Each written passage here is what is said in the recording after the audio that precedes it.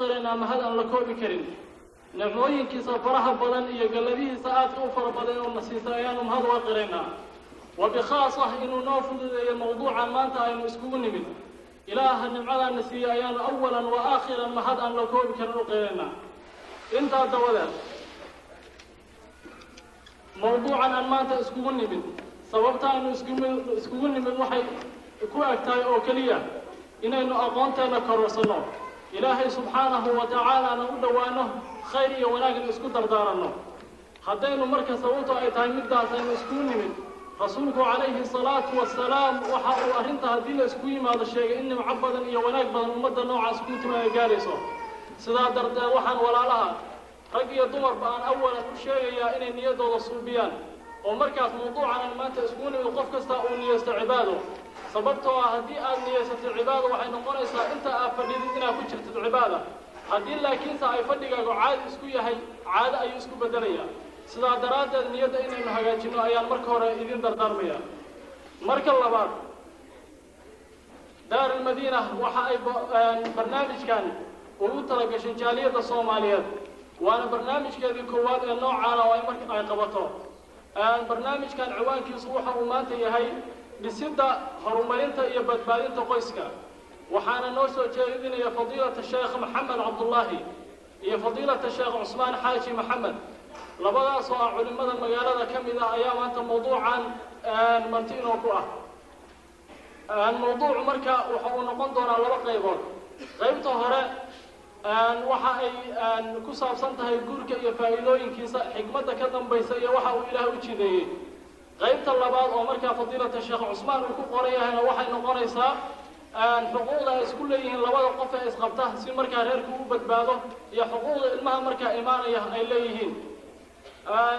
Waxaan markaa in sha allahu tacaala mikrofon ku wareejinayaa sheekh maxamed oo markaa muxaadarada inoo bilaabaya laakiin waxaan codsi u dhiibanayaa khaasatan gabdhaha inay carruurta ay hayaan ay geeyaan meesha loogu talagalay. Waxaa laydinka bariyaa inaad geysaan meeshaas aan ugu talagalnay dadka hayn doona. Wixii ka ya ka weyn hal jir. Wixii hal jir ana waad haysan kartaa si markaa programkan uu inuu ku nabad galo. Waxaan ku wareejinayaa fadiilata sheekh maxamed sheekh cabdullaahi falyatafadal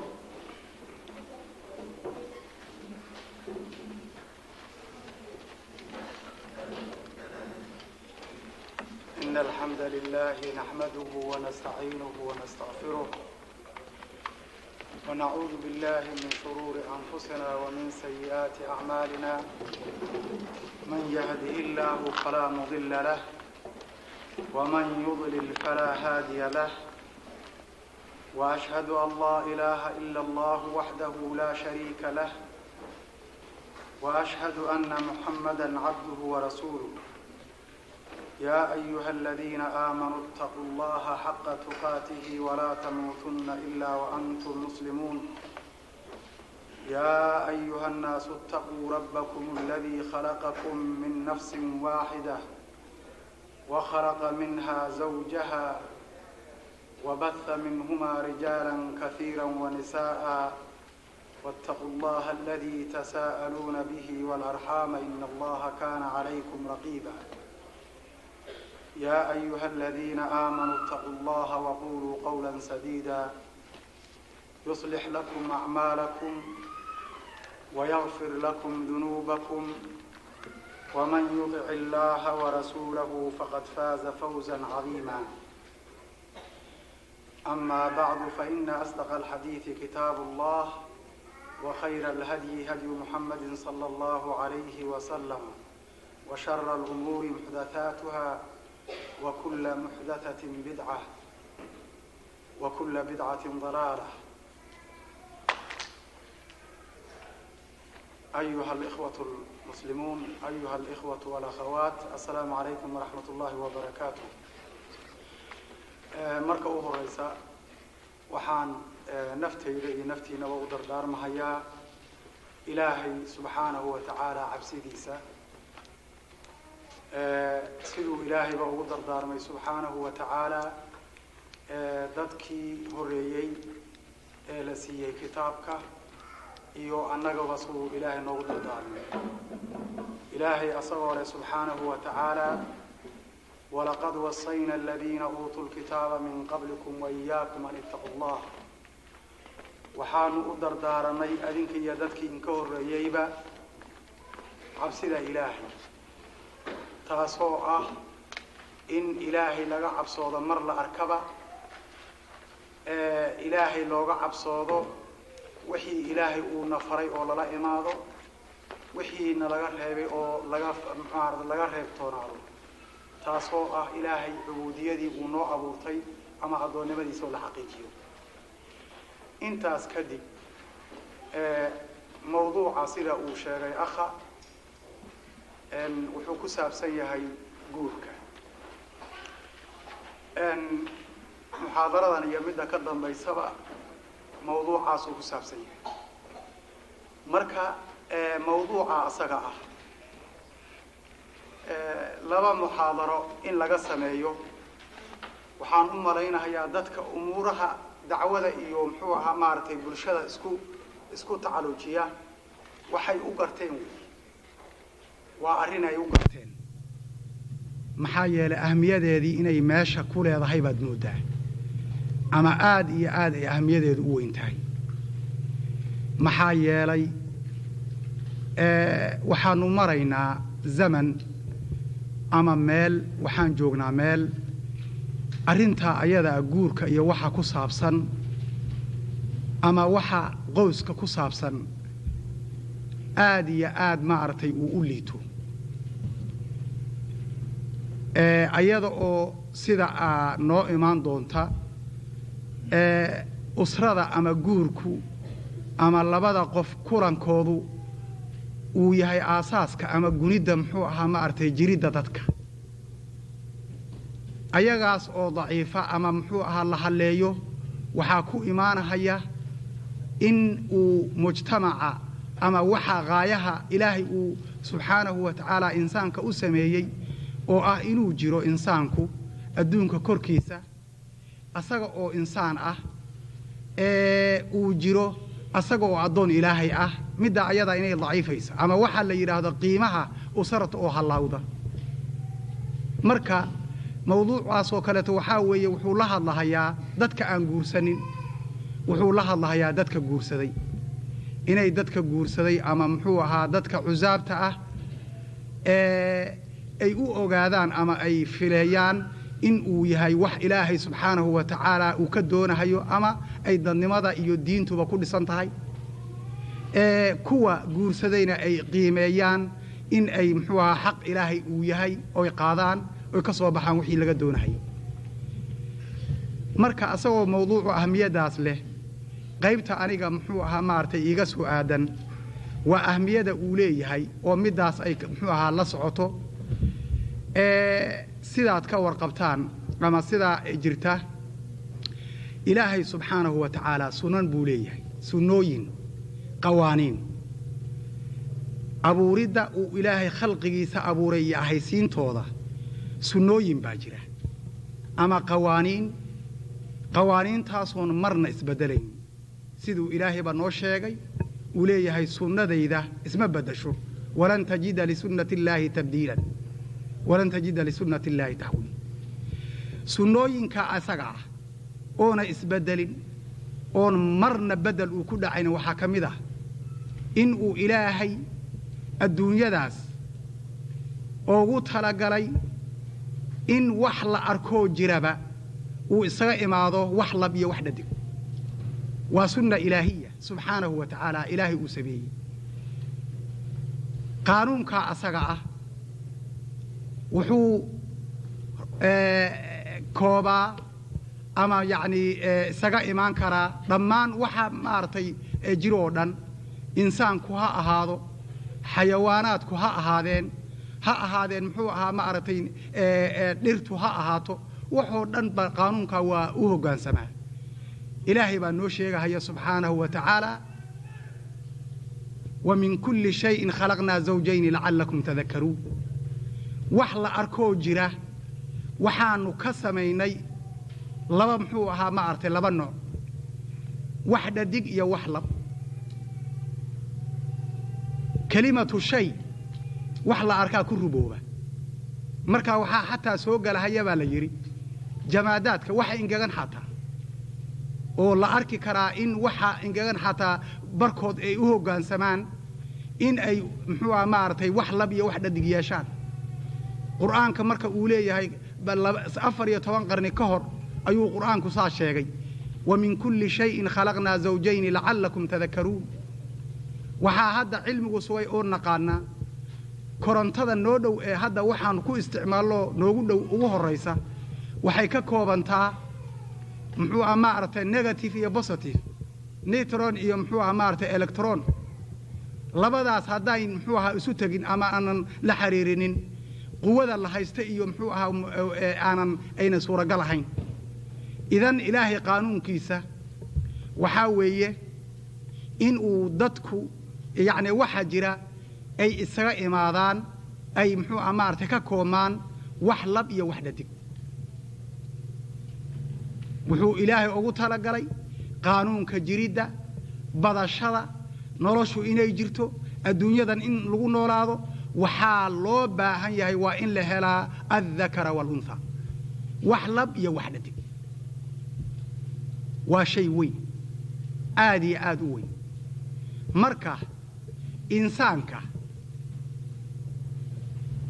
ilaahay baa karaameeyey. Makhluuqaadka kaleetoo dhan ilaahay baa ka karaameeyey. Maxaa yeelay insaanku waa qaayaha adduunyada tan la joogo korkeeda. Waxa uu muxuuha fadli badan oo u wanaagsan wey maxaa yeelay asagaa wax kastoo dhan loo abuuray. Daraaddiis inay sahal u noqoto asagana waxaa loo abuuray haayo weyn oo ah taxqiiqu alcubuudiyati lilah ilaahay inuu xaqiijiyo addoonnimadii inuu addoon u yahay. Waxa kaleetoo dhanna waa loo sakhiray inuu ahaado addoonkaa inuu muxuuha haayihiisa ku gaaro hadday marka xaaladdu saa tahay insaankaa asaga ah sida uu ku gaarahayo haayaha weyn oo ah in la bato ama muxuu la jiro wuu ka duwan yahay ama isutagga dakarka iyo unhaha ay isu tagahayaan xayawaanaadka kaleeto waa ka duwan yihiin. Oo waxay soo gaaraanba iyo siday noqdaanba siday isaga kulmaanba muxuuha maarata ay ugu dhammaanayso. Way ka duwan yihiin. Wuxuu ilaahay u yeelay insigu maaragtay insaanku inuu isu guursado ama isaga imaado qaanuun uu og yahay ilaahay subxaanahu wa tacaala uu sameeyey oo ah aan la dhaafi karin oo asaga sharaftiisa iyo wanaaggiisa u cunanta qaanuunkaasuu ilaahay u sameeyey oo ah in muxuu aha maaragtay ilaahay kelimadiisa la isku guursado. Ilaahay kelimadiisa laisu guursado ayada oo ay dhacayso aliijaabu waalqabuul wax la yidhaahdo in ay is-aqbalaan ninka wax guurinhayo iyo midka loo guurinhayo inuu aqbalo in uu siiyo muxuu ahaa maaragtay ku guursado gabadhaas ee sadaaq wax la yidhaahdo ama meher inay shuhuud joogaan in ay markaa kadib ka ratanto ka ratibanto wax la yidhaahdo qawaaniin iyo muxuu aha xuquuq. Oo noo sheegi doono muxuu aha maaragtay cashirkeenna dambe noogu imaanaysa. Marka sidaasaa ilaahay ugu talagalay. Markaa maxaa imaanaya? Waxaa imaanaya siduu ilaahay u doonay sunnada ayadaa inay u socoto oo dad muxuu ahaa ilaahay ka imaadaan oo adduunyadu iyo muxuu aha jiriddu sideeda ay ahaato istibraariyadeeda ahaato. Laakiin bini aadamku asaga oo wax badan ilaahay ku kufriyeen wax badanna jidka ay ka leexdeen arrintaa ayada ah lama fulinin lama fulinin. Dad badan baana fulinin oona arrintaa ayada ah ka leexday. Inxiraaf uu ku dhacay. Inxiraafkaas wuxuu ka bilowday haddii taariikhda adyaanta diinaha iyo muxuuha umamka loo noqdo wuxuu ka bilowday labadii qof ee ilaahay ugu talagalay inay noqdaan shariikaani filxayaa laba muxuu ahaa maaragtay wadaagta ee nolosha oo ahaa addakaru waalunhaa inay kala liideen. Inay naag muxuu aha masalan midkii labaa dhadiga oo muxuu aha maaragtay dhadigii oo haweenkii ay u arkeen si kaleeto. Ilaa ay barkood yidhaahdeen waa nijaaso yahuud oo kaleeto haddii loo fiiriyo. Waxay qabaan inay muxuu ahaa ama ay diinta xarifan ku sugan inay muxuu aha nijaaso tahay. Saasoo kaleeto hunuudda muxuuha maaragtay ninku hadduu dhinto in naagtiisa ay muxuuha maaragtay ay ka daba dhimato ama muxuuha maaragtay ay noolaanaynin ama nolol ayna u sugnayn. Nasaarada waxay ku doodeen baa la yidhi war naagtu ma xayawaan baa mase ilaa maaragtay mu'tamar faransa ka dhacay shan shan boqol iyo maaragtay waxoogaa qarnigii lixaad inay yidhaahdeen muxuuha maaragtay naagtu waa xayawaan laakiin ilaahay wuxuu abuuray inay tahay. In raggu ama maaragtay inay maaragtay khidma u khidmayso ama ay ku ma ayaga ku dhaqmaan. Sidaasaa ilaahay u abuuray. Marka inxiraafkaas waxaa ka mid ah in sidii laisu guursanayo o dhan laga leexday.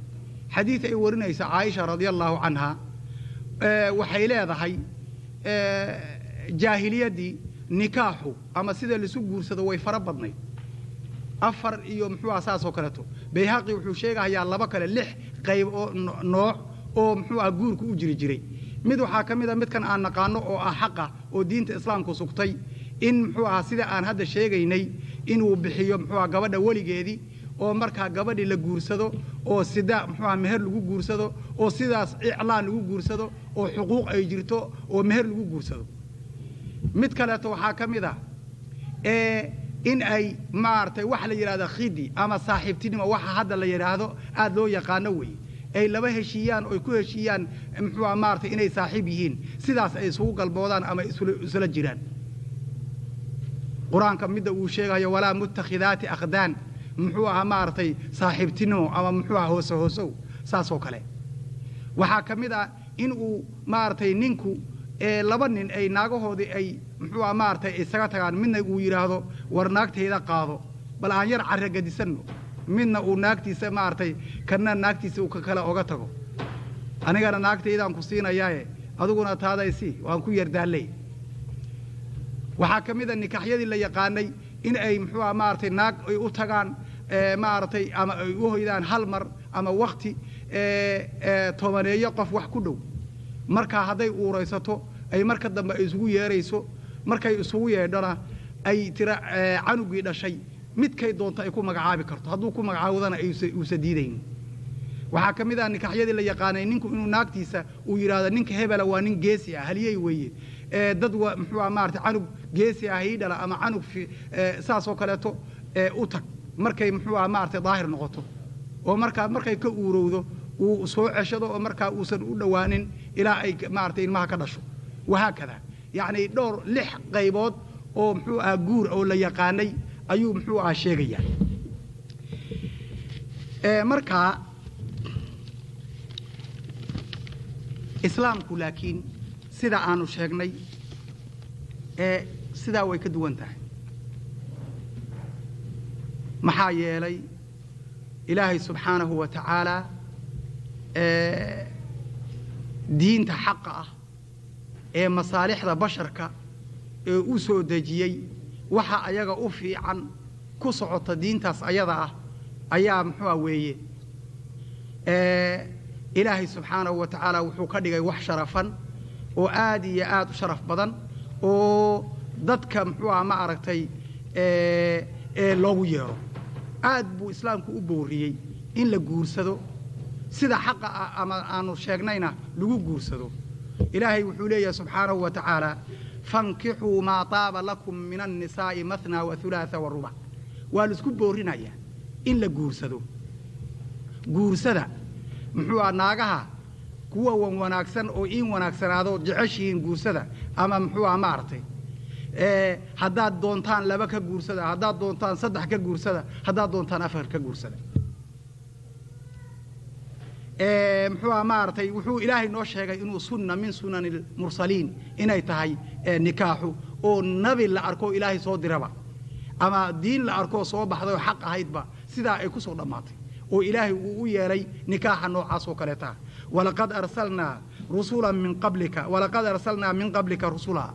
Wajacalnaa lahum duriya aswaajan wa duriya waxaanu soo dirnay hadda ka hor adiga hortaa nabi moxamedow sala allahu calayhi wasalama waxaanu u soo ku soo diray rusul.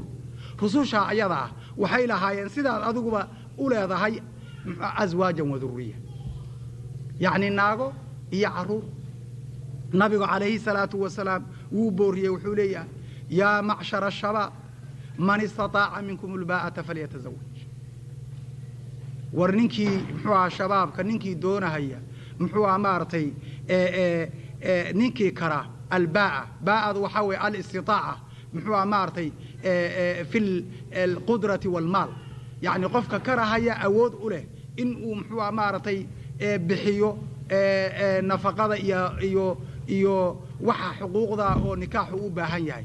Qudrad iyo awoodna u leh ayaa waxaa la yidhaahdaa muxuu ahaa maaragtay albaa'a ninkii ninkii kara awood ha guursado. Waa amar. Falyatazawaj amarkaa asaga ah. Waa amru lwujuub alamru yaqtadi lwujuub amarku wuxuu keenaa yacni waajib buu keenaa. Markaa ninka awoodda leh ee shaabka ah ee muxuu ah maaragtay inuu guursado waajib bay ku noqonaysaa. Marka meesha ayada markaa waxaa la dhihi karaa haddee maadaama uu amarku uu yahay amri diini ah wuxuu u khuduucaa ama laga helahayaa alaxkaam alkhamsa altakliifiya axkaamta shanta ah oo la yidhaahdo axkaamu alkhamsa ee muxuuah wax la arkaba muxuuah maaragtay laga heli karo ayaa yaa ku yaa yaa laga helahayaa oo ah waajib buu noqon karaa nikaaxu qof buu waajib ku yahay inuu guursado qof sunnuu u yahay qof xaaraan buu ka yahay inuu guursado qof inuu guursado karaaha weeye qofna waa isaga bannaan yahay sidaasaa yaa ku imaanaysa. Qofku wuxuu waajib ku yahay guurka. Haddii uu awood leeyahay maal iyo awood guursasho labadiba wuu leeyahay. Wuxuuna ka baqahayaa oo inuu ku dhaco ama uu halis u yahay inuu ku dhaco zina. Qofka asagaa inuu guursado waa waajib. Waxaa laga horumarinayaa xajka iyo wax la arkaba waa inuu guursadaa wey qofkaa maxaa yeelay in nafta laga ilaaliyo inay xurmada ilahay ku dhacdo waxaa wey waa shay waajiba qofkii awood leh ee nikaaxa iyo maalkiisaba kari kara kana baqahaya inuu ku dhaco maaragtay macsiya waajib weeye inuu guursadaa. Wuxuu sunno u yahay qof maal haysta awoodna u leh nikaax. Laakiin aamin ka ah inuu macsiya ku dhaco qofkaa sunnay u tahay inuu guursadaa sunno u ah. Wuxuu xaaraan ka yahay qofkii aan maal haysanin nikaaxna aana kari karin galma aana kari karin. Markaa ayadaa ana gabadha ama naagta la guursanahayo ama naagtu ayna ku dhibto ay ku dhibtoonayso arrintaa ayadaa naagta uu guursanayo waa xaaraan markaa ayadaa maxaa yeelay dhib kaluu keenayaa shaygii la doonahayana oo qasadka ah ama maqsuudka ahana meesha ka xasili maayo. Waxaa markaa karaaha noqonaysa waa la yidhi haddii uu qofku uusan awood lahayn maal iyo maaragtay awood kalaba. Laakiin qofka haweenka uu guursanayo waxaa weeye waa haniyad oo ayadaa ismasruufi karta. Wax ay muxuu ahaa maaragtay nikaax ka leedahayna muxuu aha maaragtay muxuu maaragtay ma laha oo yacni danka ma laha. Marka ayada ah waxaa weeye karaahiyuu noqonayaa haddii shayadii la keenahayey waajibka ka dhigahayay iyo kuwii xaaraanta ka dhigahayay haddii la waayo markaa mubaax buu noqonaya.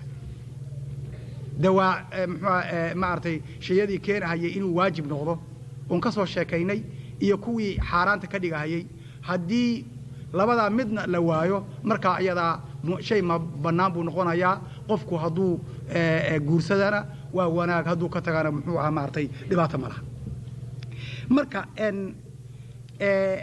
nikaaxa noocaas oo kaleeta ah waxaa weeye qur'aanka iyo axaadiista ku aroortay waa badan yihiin. Yani muxuu ahaa maaragtay nala farahayo in muxuu aha la guursado ha la guursado ha lagu dadaalo wahaakada markaa nabiga calayhi salaatu wasalaam wuxuu leeyahy tazawajuu alwuduud alwuluud fa inii mukaahirun bikum lumama yowma alqiyaama. War waxaad guursataan midda muxuu ahaa maaragtay dhalaysa maaragtay gabadha dhalaysa oo mutaxabiba lirijaaliha yani macnaha wanaagsan oo maaragtay ninka isjeclaysiisa ama qurux badan ama yacni muxuu aha maaragtay yacni diyaarka u ah guurka.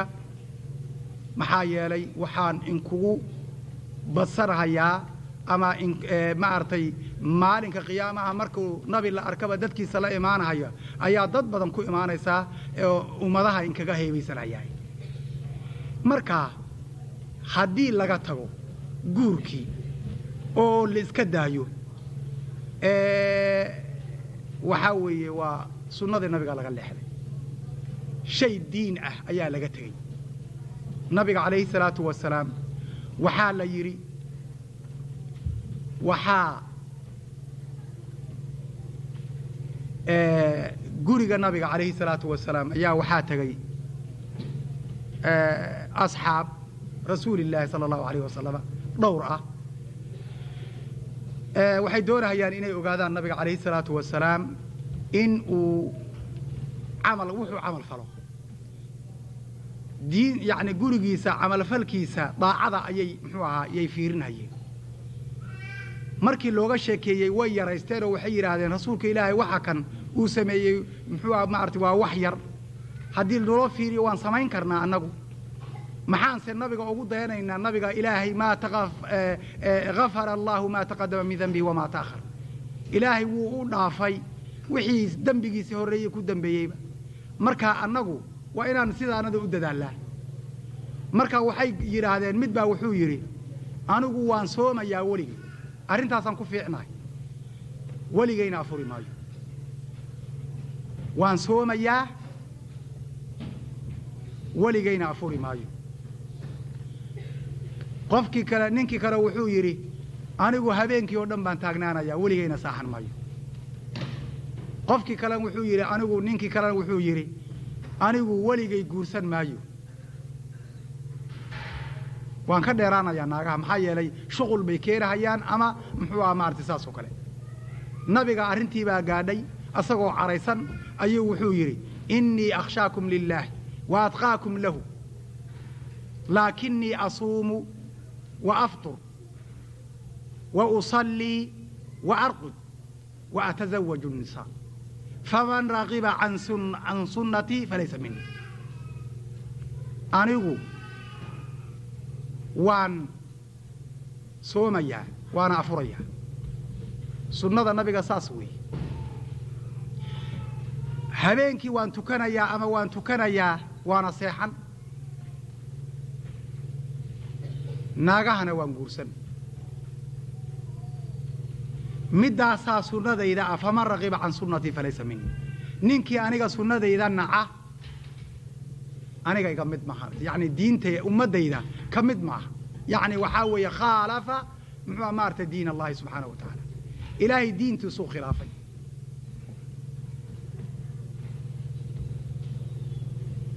Sidaa daraaddeed marka waxaa weeye waa in la guursada weeye marka waxaa laga helayaa guurka fawaa'id fara badan uunan la tirin karin ay u horrayso inuu ku xasilahayo laga helahayo mutca. Ilaahay uu ku abuuray shahwada uu ilaahay insaanka ku abuuray oo wax diidi kara uusan jirin. In muxuu ahaa maaragtay meesheedii mawqiceedii loogu talagalay inay dhacdo. Oo markaa qofkii uu raaxaysto muxuu ahaa jasadiyan wa ruuxiyan. Inuu ka helo muxuu aha wax la yidhaahdo xasil iyo muxuu aha maaragtay wehel.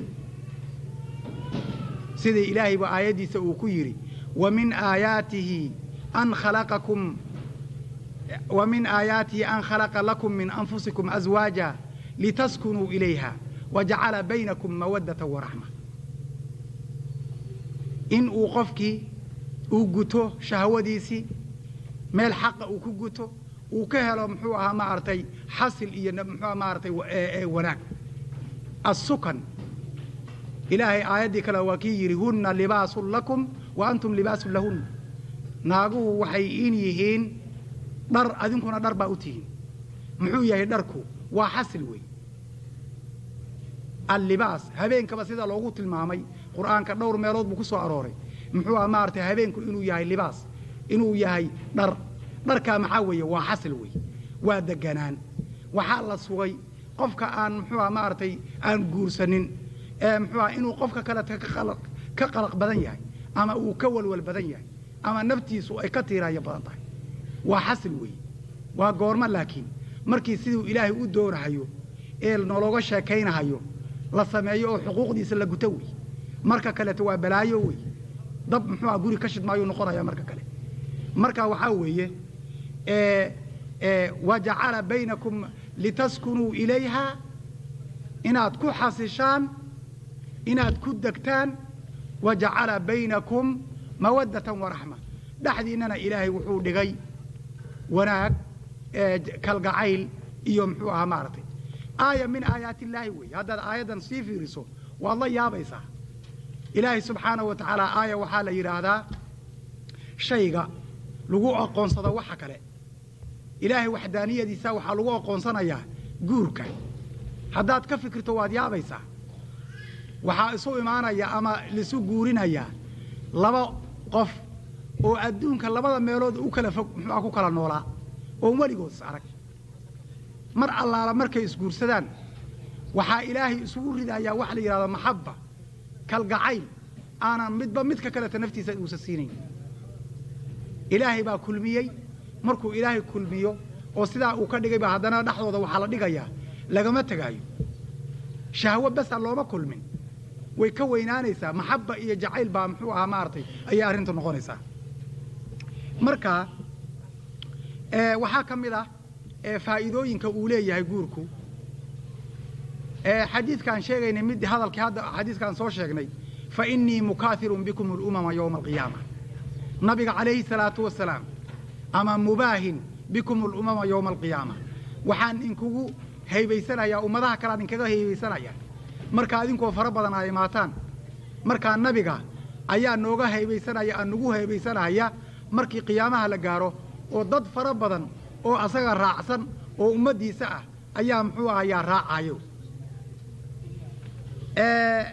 waxaa ka mid ah waxyaalaha kaleeto alajru waathawaab ajri baa laga helayaa fara badan aad iyo aad u fara badan oo ah in muxuu ahaa maaragtay ajri laga helahayo oo uu ka mid yahay in muxuu aha maaragtay nafaqa uu qofku muxuu aha maaragtay zawjadii uu nafaqaynayo nafaqada ayadaana ay sadaqo tahay owlaad ay dhalanayso oo muxuu aha maaragtay uu nafaqaynayo oo muxuu aha maaragtay wax la siinaayo ama la korinayo la tarbiyaynaayo ay tahay ajri ilaahay xaggiisa ka ahaaday inuu canugii dhashay uu noqonahayo muxuu aha maaragtay inuu noqonahayo maaragtay camalka qofka oo hadhow qiyaamaha markii muxuu maaragtay qofku markuu dhinto acmaasha baaqiga ah xadiiskii saxiixa sidii ku sugnaa yacni inuu qofku uu noqonahayo camalkiisa maaragtay qofkii waladkii saalixaa duriyaa ka imaanaysa ilaahay subxaanahu wa tacaala caabuda. Wahaakada ajir buu ka helayaa. Xataa maaragtay shahwada uu gudanhaya ajir baa ilaahay ka siinaya. Xadiiskii macruufka ahaa nabiga calayhi salaatu wasalaam waxaa wuxuu yidhi wa fii budci axadikum sadaqa. Qofkiin adinka in ka mid ah budcigiisa yacni in uu muxuu ahaa isu taga isu tegaysaan isku galmoonaysaan. Sadaqaa ku sugan. Markaa waxay yidhaahdeen yaa rasuula allah midka anaga naga mida ma wuxuu gudanahayaa shahwadiisa? Oo muxuu aha maaragtay wixii shahwada ahaa oo ku sugnayd buu intuu guto oo muxuu aha maaragtay raaxaysto ayuu haddana ajir helayaa? Nabiga calayhi salaatu wasalaam wuxuu ugu jawaabay nacam haa ajir buu helayaa. Oo haddii qofka uu sameeyo xaaraan hadduu ku dhaco soo dembi ma galeen oo wisri looma sameeyeen. Nacam weeye. Haddii uu wanaag ku sameeyo oo la imaado shahwadii ilaahay ee muxuuha maaragtay uu ku abuuray meeshii loo sameeyey ee xaqayd hadduu dhigo muxuuha maaragtay waxaa weeye ajri buu ka helayaa. Alajru waathawaab ayuu ka helayaa. Ilaahay subxaanahu wa tacaala uu siinaayo. Asaga oo raaxaystay oo gutay muxuu aha shahwadiisii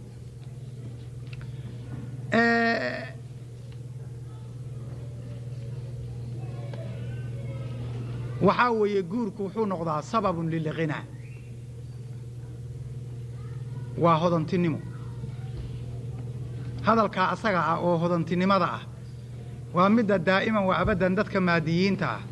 Ama dadka aanan muxuu ahaa maaragtay xaqa muxuu aha ka indha maaragtay qabsaday ee ay khilaafsan yihiin.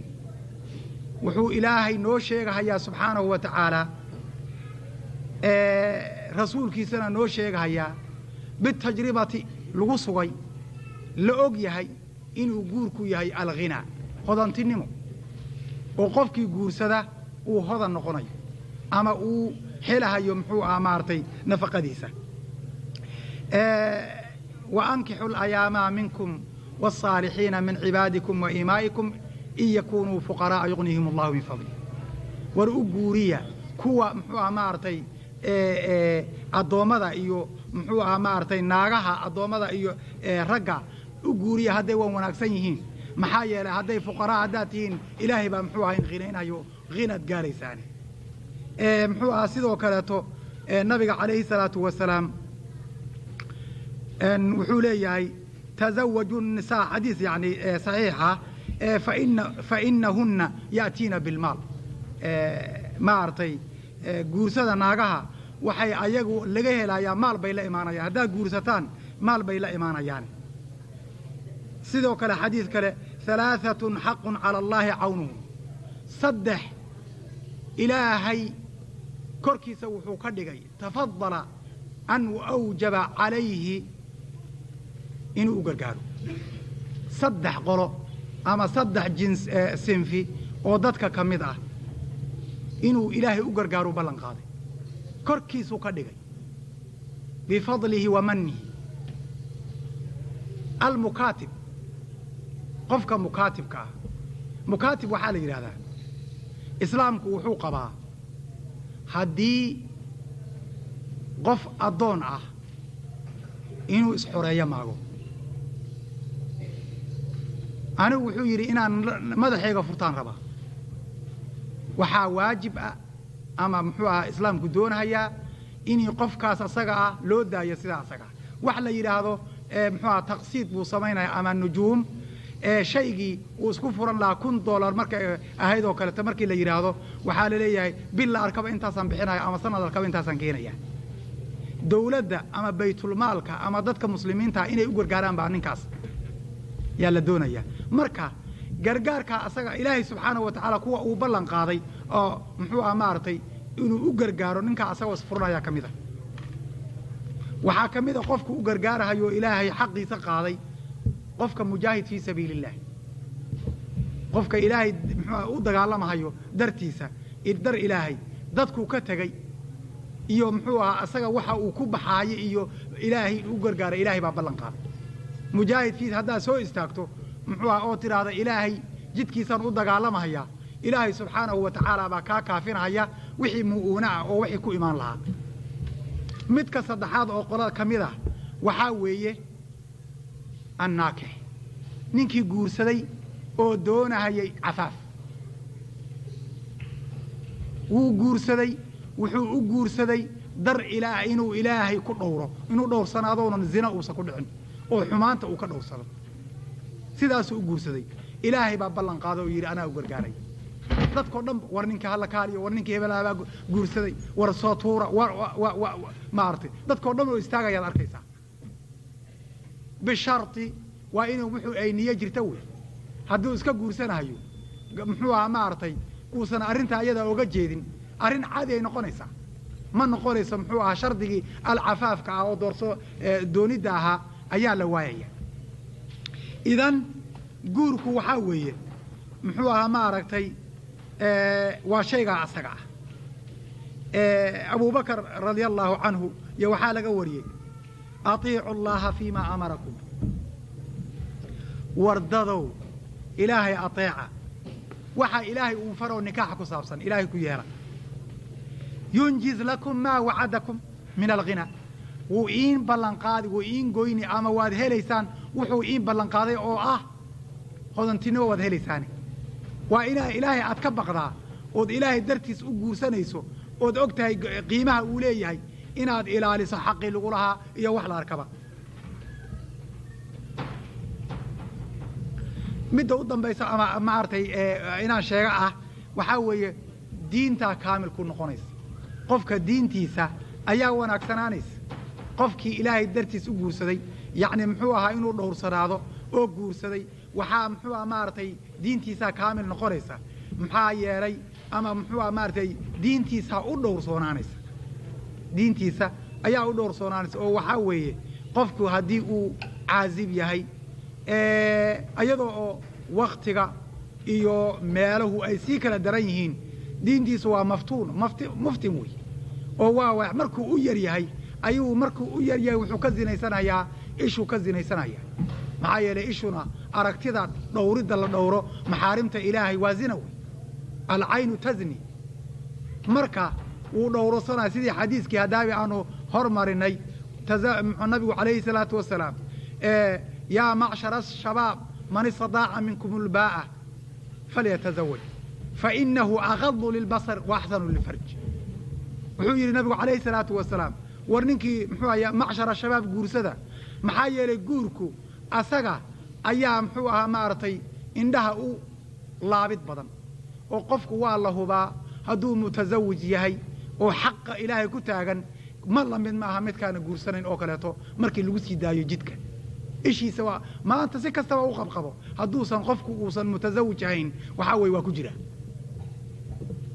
Fainahu agadu lilbasar wa axsanu lilfarj marka waxaa weeye markaa ninkii qofkii wuu dhowrsoonaanayaa diintiisaa u dhowrsoonaanaysa siduu nabigu u yidhi calayh salaatu wasalaam xadiis muxuu ahaa maaragtay idaa tazawaja alcabdu faqad istakmala nisfa diinihi falyataqi fi nisfi haani qofku haddii uu guursado diintiisa niskeed wuu haystaaye niskii kaleeto ilaahay hooga baqo oo ha ku dadaalo.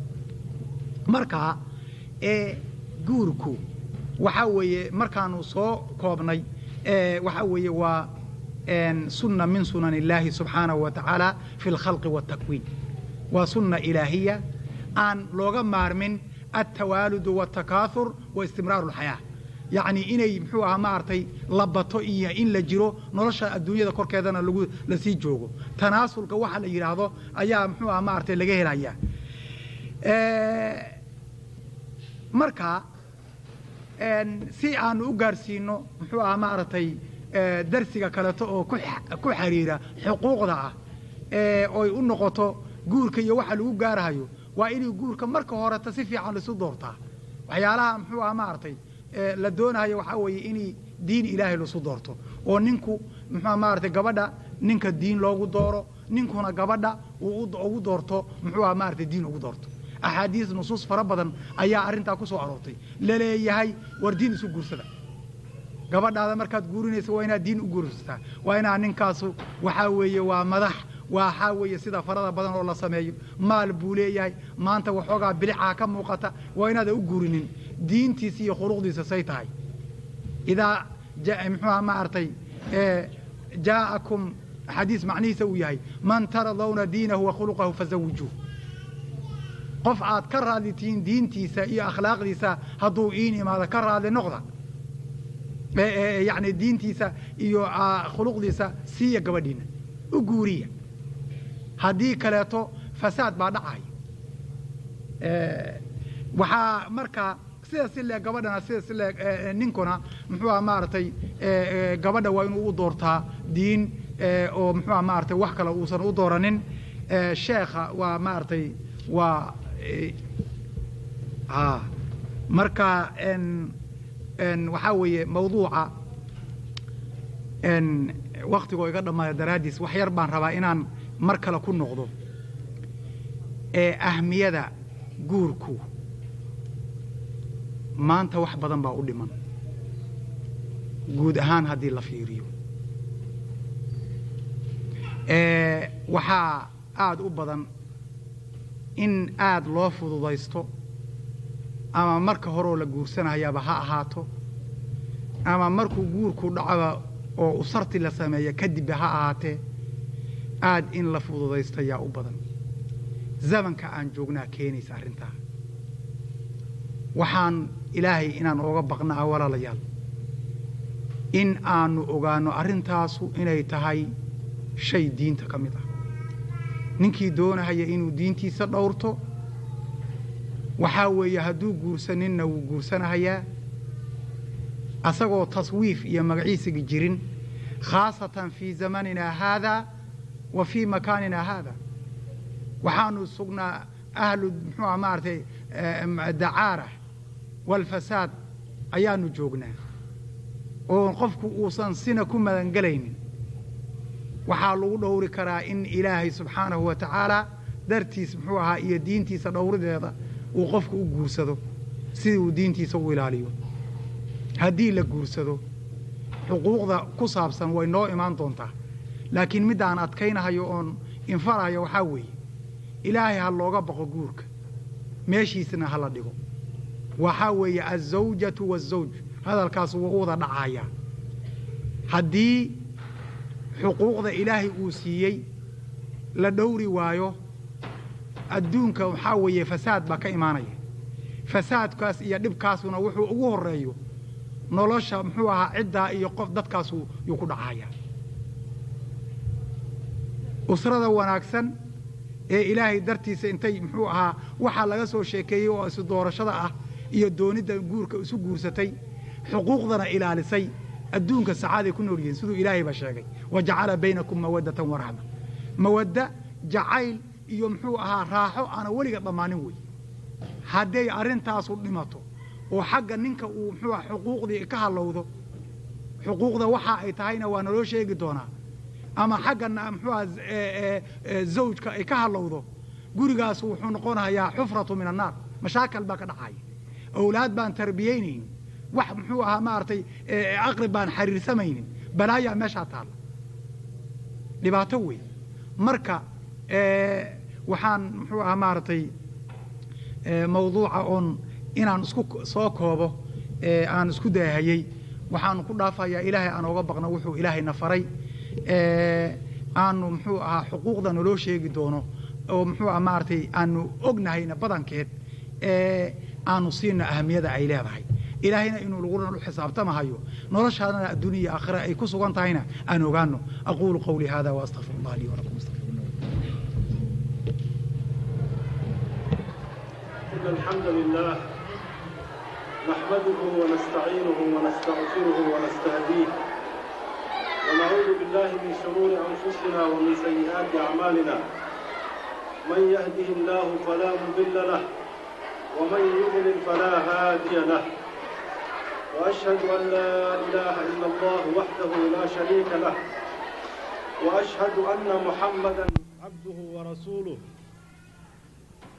يا أيها الناس اتقوا ربكم الذي خلقكم من نفس واحدة وخلق منها زوجها وبث منهما رجالا كثيرا ونساء واتقوا الله الذي تساءلون به والأرحام إن الله كان عليكم رقيبا يا أيها الذين آمنوا اتقوا الله حق تقاته ولا تموتن إلا وأنتم مسلمون يا أيها الذين آمنوا اتقوا الله وقولوا قولا سديدا يصلح لكم أعمالكم ويغفر لكم ذنوبكم ومن يطع الله ورسوله فقد فاز فوزا عظيما أما بعد فإن أحسن الحديث كتاب الله وخير الهدي هدي محمد صلى الله عليه وسلم وشر الأمور محدثاتها وكل محدثة بدعة وكل بدعة ضلالة ثم أما بعد walaalayaal muxaadaradan in sha allah aan soo jeedin doono sida mawduucaadii loo sheegay ama waxa ay ka hadlayso waa xuquuqda ay isku leeyihiin labada qof ee isqaba reer dhismay oo ka kooban haweeney iyo odaygeeda wixii laga rabay si reerkaasu u dhismo oo u waaro oo u barwaaqoobo oo nataa'ij iyo muxuu ahaa wanaag uga soo baxo. Waxaa la jiray oo walaalaha ku dareen mawduuc kale oo xuquuqda ay carruurtu leeyihiin. Sida xaqiiqada ah waa laba mawduuc ama laba muxaadaro aada waaweyn oo aan madaxa laisu gelin karin. Marka hadday sidaa tahay bal waxaan eegi doonaa haddii hadday waqti waqti uu ii soo haro markii aan ka baxo xuquuqu zawjayn ama labada qof ee isqabo xuquuqdooda inaan marka tilmaamo aan ka bixiyo sida ila tahay ama intii aniga aan ka fahmay barbaarinta carruurta iyo xuquuqda ay waalidkood ay ku leeyihiin. Haddiise wakhtigu uu dhaco waan ka cudur daaranayaa daraaso dambe iyo wakhti dambe ayaan u dibdhiganayaa iyadoo marka si faahfaahsan aan u soo daraaseeyey haddii alla idmo inaan markaa mar labaad aan isugu soo noqonno mawduucii hadda laga hadlay ee dhismaha reerka muslimka ah iyo ahamiyadda uu leeyahay ayuu daba socdaa mawduucan hadda aan ka hadli doono. Intaanan mawduuc u gelin haddaan dib u fiirino bulshadeenna soomaalida ee soo galay waddammadan reer galbeedka ama guud ahaan waddamada gaalada markii uu dhacay burburkii waddanka waxaa muuqatay in mashaakillo badan ay kala kulmeen meelahay yimaadeen ama dhulalkii ay yimaadeen ayn hore u aqoon. Mashaakilladaas waxaa ka mid ah oo qayb ka mida ah burburka reeraha. In reerihii ama reerkii soomaaliyeed sida badan ay la soo gudboonaatay mashaakil ah inuu degganaan waayo ama natiijada ay ku dambayso reerkiioo kala taga iyo carruurtiioo dayacanta. Marka haddaa arrintaad aad fiiriso waxaa meeshii muuqanaysa inay jirto mushkilad. Marka mushkiladdaasi maxaa sababay? Waa su'aal laisweyddiin karo. Maxaa u sababa? Maxay ku dhacday ummadda soomaaliyeed? Markii bulshada soomaaliyeed haddii la barbar dhigo bulshooyinka kale inay ka bataan haddii xag statistics ahaan loo fiiriyo muxuu ahaa nambarka furidda ama reeraha kala tegey ama reeraha dumay. Maxay ku dhacday inuu ayagu ku bato? Waa su'aal wey marka mushkiladaas iyadaa marka diraasay u baahan tahay. Sideedana markii baxhiga cilmiga la samaynayo ama diraasad lagu samaynayo shayga yacni ama diraasad cilmiyeed la samaynayo waa inay horta marka hore mushkiladii jirtaa meelaan mushkiladi jirin waxba lagama samayn karo marka mushkiladaasi baa marka la diraasaynayaa asbaabaheeda maxaa maxaa ugu wacan maxaa keenay yacnii maxaa suuragal ah inay keeneen sidee loo xallin karaa waxyaabahaasoo dhan baa marka imaan kara marka haddaannu qadarno faradan ama ama aan u arko yaani sidaan u aragno annagoo dhanba caamatan.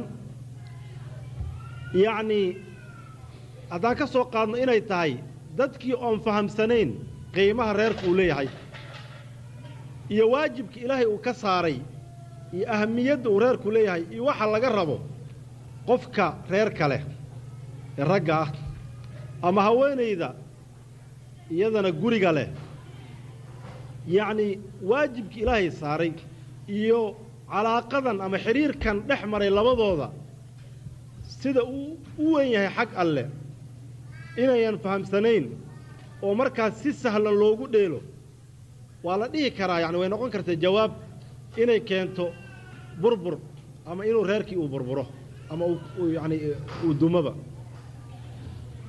Intaasoo faradiyaad oo fara badanna qof walbaba maskaxdiisu ay ku soo dhici kartaa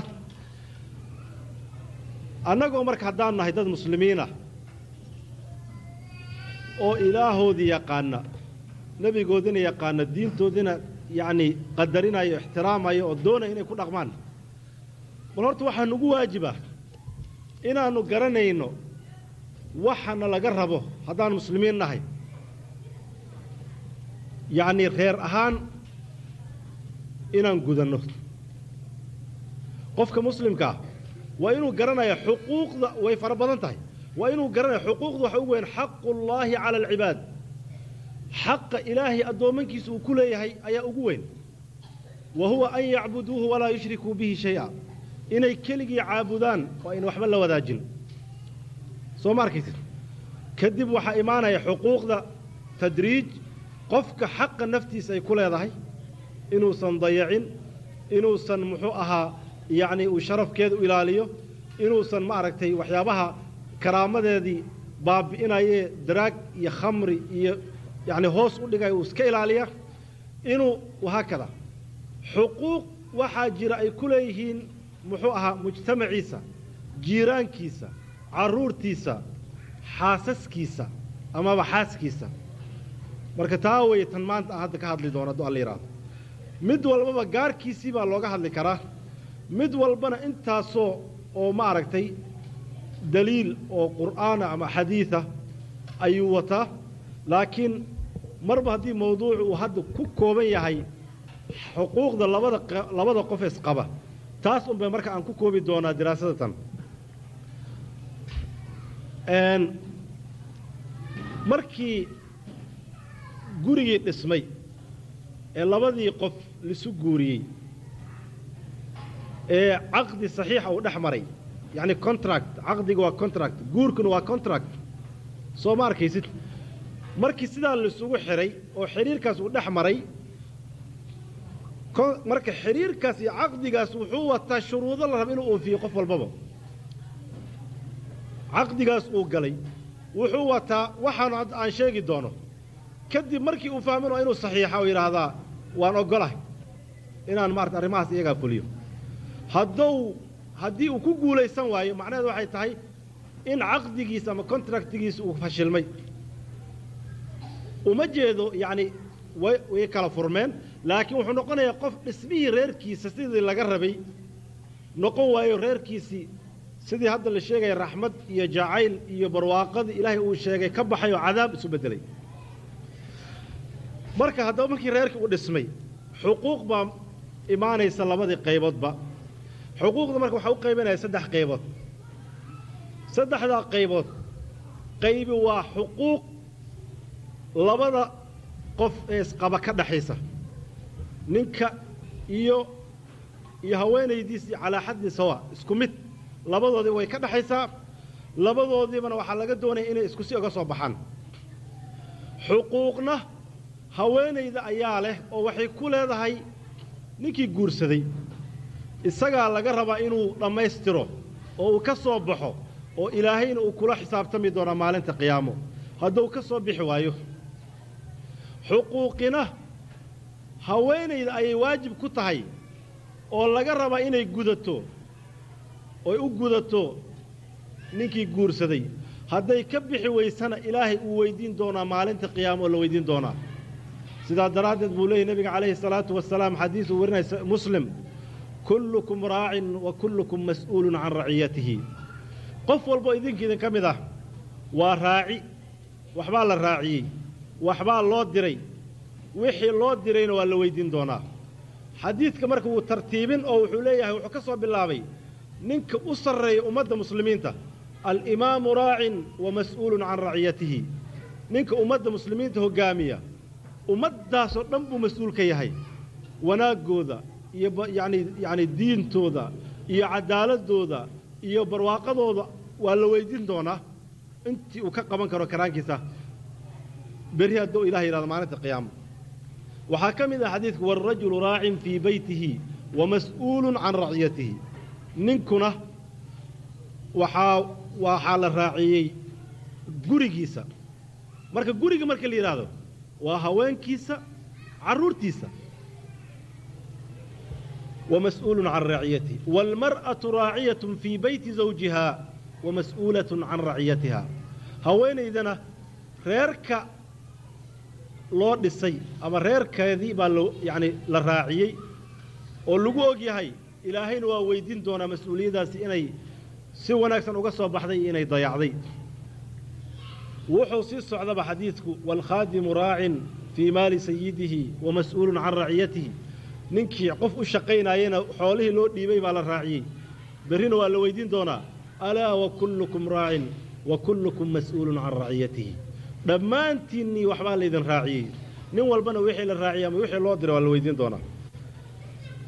Marka xuquuq mushtaraka oo labadoodii ka dhexaysa labadii qofba iyo xuquuq haweenaydu ay leedahay iyo xuquuq ninkuu leeyahay. Xuquuqda labada marka qaybta hore haddaan ku hormaro xuquuqda labadoodiiba ka dhaxaysa.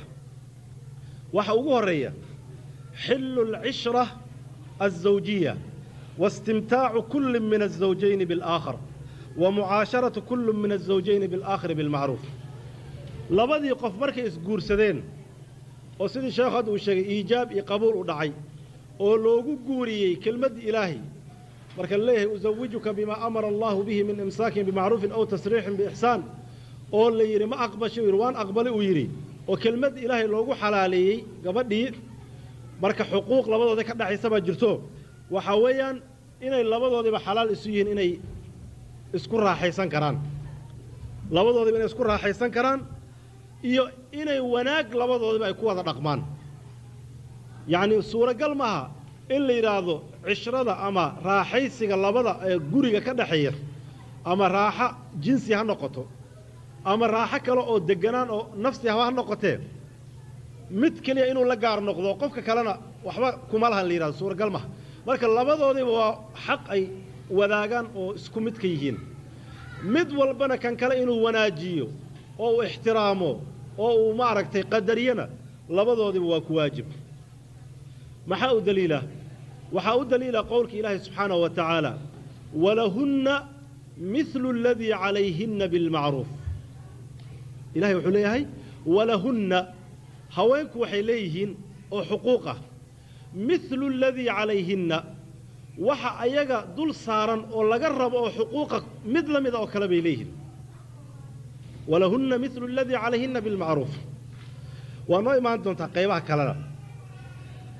Ay lahunna ibnu kaiir wuxuu leeyahay ay lahunna cala alrijaali min alxaqi midlu maa lilrijaali calayhinna falyu'addi kullu waaxidin minhumaa ila alaakhar maa yajibu calayhi bilmacruuf ibnu kaiir wuxuu leeyahay haweenku xaq bay ku leeyihiin raggooda la mid ah midka ayaga lagu leeyahay mid la mid ah marka mid walbaba si wanaagsan waa in xaqii lagu leeyahy uu soo gutaa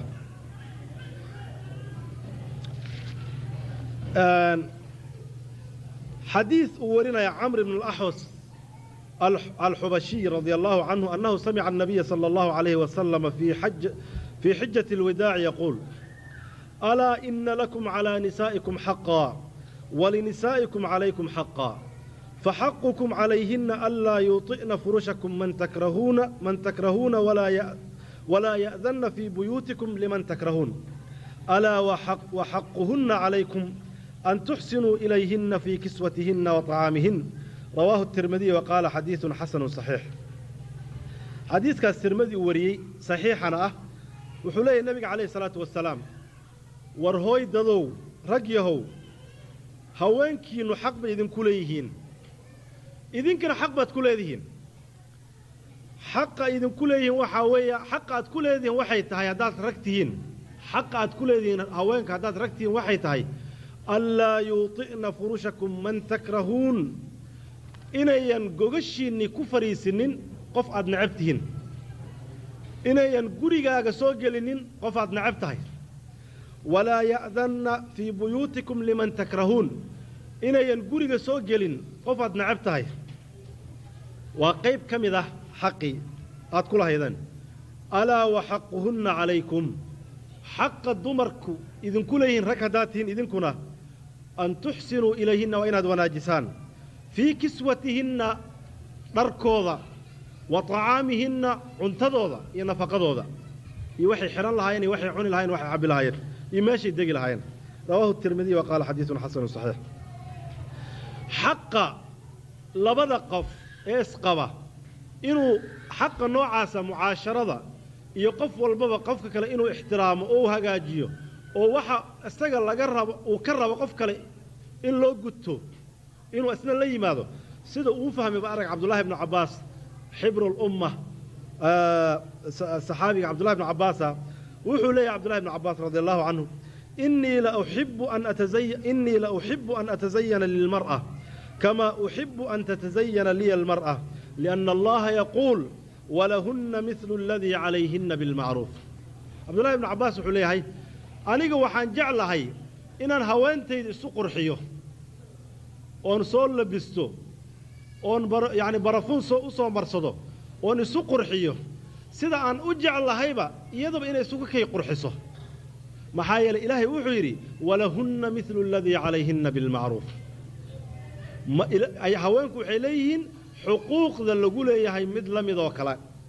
Marka maadaama ilaahay sidaa uu yidhi waxaan jeclahay buu leeyahy abdullahi ibnu cabbaas inaan haweentayda isu qurxiyo sida iyadaba isugu kay qurxiso xaqa labaad maalan ee ka dhexeeya labadooda ee ay wada wadaagaan waxaa ka mid ah hubuutu tawaaruhi baynahumaa bimujaradi itmaami alcaqd. Markii meherkii uu dhacayba oo la isku meheriyey waxaa dhacaaya inay isdhaxli karaan labadan qof. Markii meherkii uu dhacay midkood haddii uu dhacay midkood hadduu dhinto kan kale wuu dhaxlayaa. Hadda intuusan meherkii dhicin ajnabi bay kala ahaayeen waxay isu ahaayeen ma jirin laakiin markii laisku meheriyey oo caqdigii u dhacay waxaa ka ratimay xaq la yidhahdo xaqu tawaarus inay isdhaxlayaan hadduu ninkii dhinto gabadhii way dhaxlaysaa hadduu asaga yacni gabadhii dhimato ninkii wuu dhaxlayaa maxaa u daliila waxaa u daliila qowlu llahi subxaana wa tacaala fii suurati الnisaa walakum nisfu maa taraka aswaajukum in lam yakun lahunna walad fain kaana lahunna waladun falakum الrubucu mima tarakn min bacdi wasiyatin yuusiina biha aw dayn walahunna الrubucu mima taraktum in lam yakun lakum walad fain kaana lakum waladun falahunna الhumnu mima taraktum min bacdi wasiyatin tuusuuna biha aw dayn ilahay wuxuu leeyahay haweenku waxay leeyihiin xoolaha aad ka tagtaan walakum nisfu maa taraka aswaajukum waxaad leedihiin haweenkiinni xoolaha ay ka dhintaan kala bar kala bar idinkaa leh goormo weye haddayna haddayan carruur dhalin. Haddayan carruur lahayn. Ama adi ha kuu dhasho ama cid kale ha u dhasho. Labadiinni keliya markaad tihiin haweentiin ay xoolo leedahay xoolihii nus ninkaa qaadanaya. Farad farad ahlu farad inuu yahay buunu ku qaadanayaa haddiise carruuri leedahay ninkii rubuc buu leeyahay. Nus laba laba meeloodoo meel buu lahaa hadday carruuri meeshii jirto afar meelood marka loo qaybi meel buu leeyahay. Haweenkuna ninkeedii wuxuu uga dhintay afar meeloodoo meel bay leedahay hadduusan carruur lahayn. Haddiise carruur uu leeyahay waxay leedahay humun siddeed meeloodoo meel. Waa goorma taas waa markii xoolihii intaan la qaybin horta deentii laga bixiyey. Min bacdi wasiyatin yuusiina bihaa aw min bacdi wasiyatin tuusuuna bihaa aw dayn wixii wasiye ah laga bixiyey wixii deen aha laga bixiyey kadib markaas xuquuqdaas ayaa markaa imaanaysa. Intaas haddaa uga gudbo labadoodii xaqi ka dhexaysay waa wax qaar kalena way jiraan laakiin intaa kaga kaaftoomo aan u soo gudbo xaqa waajibkaa ee haweenaydu ay ku leedahay ninkeeda. Haweenayda markii la guursado xuquuq bay yeelanaysaa way ku yeelanaysaa ninkeeda. Xuquuqdaasina laba qaybood baan u qaybin haddana. Xuquuq maal ah xoolo ah iyo xuquuq aan maal ahayn ahe dhaqan ah iyo akhlaaq iyo mucaamalo ah. Labadaa qaybood. Xaqna waa xaq maali ah oo ay ku leedahay maal ahaan bay ugu leedahay. Xaqna waa xaqii laga rabay dhaqankii iyo cadaaladii iyo muxuu ahaa inuusan dhibaataynin inuusan dhibin iyo wixii la mid ah. Haddaan ku hormarno xaqii maaliga ahaa xaqa maaliga ay ku leedahay waxaa ugu horreeya mahar bay ku leedahay. Ninkii markii haweentii uu mehersanaayo mahar baa la rabaa wax uu ku xalaashanayo. Maharkuna waa shay ilaahay subxaanahu wa tacaala u farad yeelay haweentu oo qalbigeedana lagu hagaajinayo ninkana ku waajib ah. Si yacnii lagana rabo inuu siiyo qofkii haweenta ayd islaamka wanaaggiisa waxaa ka mid a inuu haweenku siiyey wax la yidhaahdo xaqu tamalluk inay wax wax yeelan karaan. Islaamka ka hor haweenku waxba ma yeelan karin oo qofka weligeed unbaa iska boobi jiray xoolaheeda oo qaadan jiray laakiin islaamku markuu yimid wuxuu u qiray inay xoolo yeelan karto oo iyada xoolaheeda aan laga qaadan karin. Balse intaa ka weyn iyada oo nool baa la dhexli jiray. Iyadoo nool baa la dhexli jiray o ilahay wuxuu leeyahay yaa ayuha aladiina aamanuu laa yaxillu lakum an tarituu nisaa'a karha. Idinma xalaal ah inaad haweenku dhaxashaan. Haweenay haddii laga dhinto dadkii dad wixigaba imaanaya waxay leeyihiin ob khalaas ninkii ma dhintaa annagaa ku guursanayna ama ciddaan doonnaan kuu guurinaynaa cid kaloo bannaankaaga imaan karta ma jirto oon ku guursan karto. Sidii xoole ay leeyihiin oo kale bay ka dhigan jireen. Laakiin ama alislaam haweentii waa xoreeyey xuquuq buu siiyey inay wax milkin karta buu siiyey. Balse sidaan arki doonno xoolaha ay leedahay hadday milyaneero tahay waajib kumaha inay gurigeeda nafaqayso. Ninka guriga lebaa laga rabaa. Ilaa inay tatawucdo mooyaane.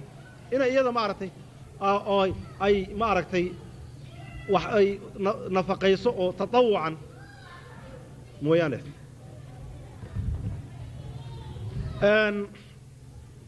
Haddaba marka waxa ay leedahay ee meherkeeda ah cid ka qaadan kara ma jirto. Cid ka qaadan karta ma jirto. Iyada ayaa iska leh iyadaa xaq u leh siday doontay ka yeelaysaa. Ilaahay wuxuu leeyahay wa aatu nnisaa'a saduqaatihinna nixla. Fain tibna lakum can shayin minhu nafsan fakuluuhu hanii'an marii'a wa aatu nisaa'a. War rag siiya haweenka saduqaatihinna ay muhuurihinna meherkooda siiya. Nixlatan ay fariidatan. Iyadoo waajib ah. Siduu ku ay ku fasirtay caaisha. Nixlatan ay fariidatan. Ibnu zayd sidoo kale annixla fii kalaami alcarabi alwaajib. Waa waajib buu yidhi. Meherkaasoo waajib idinku asiya buu yidhi ilaahay subxaana wa tacaala marka ixsaan ma aha maaha in lagaa baryayo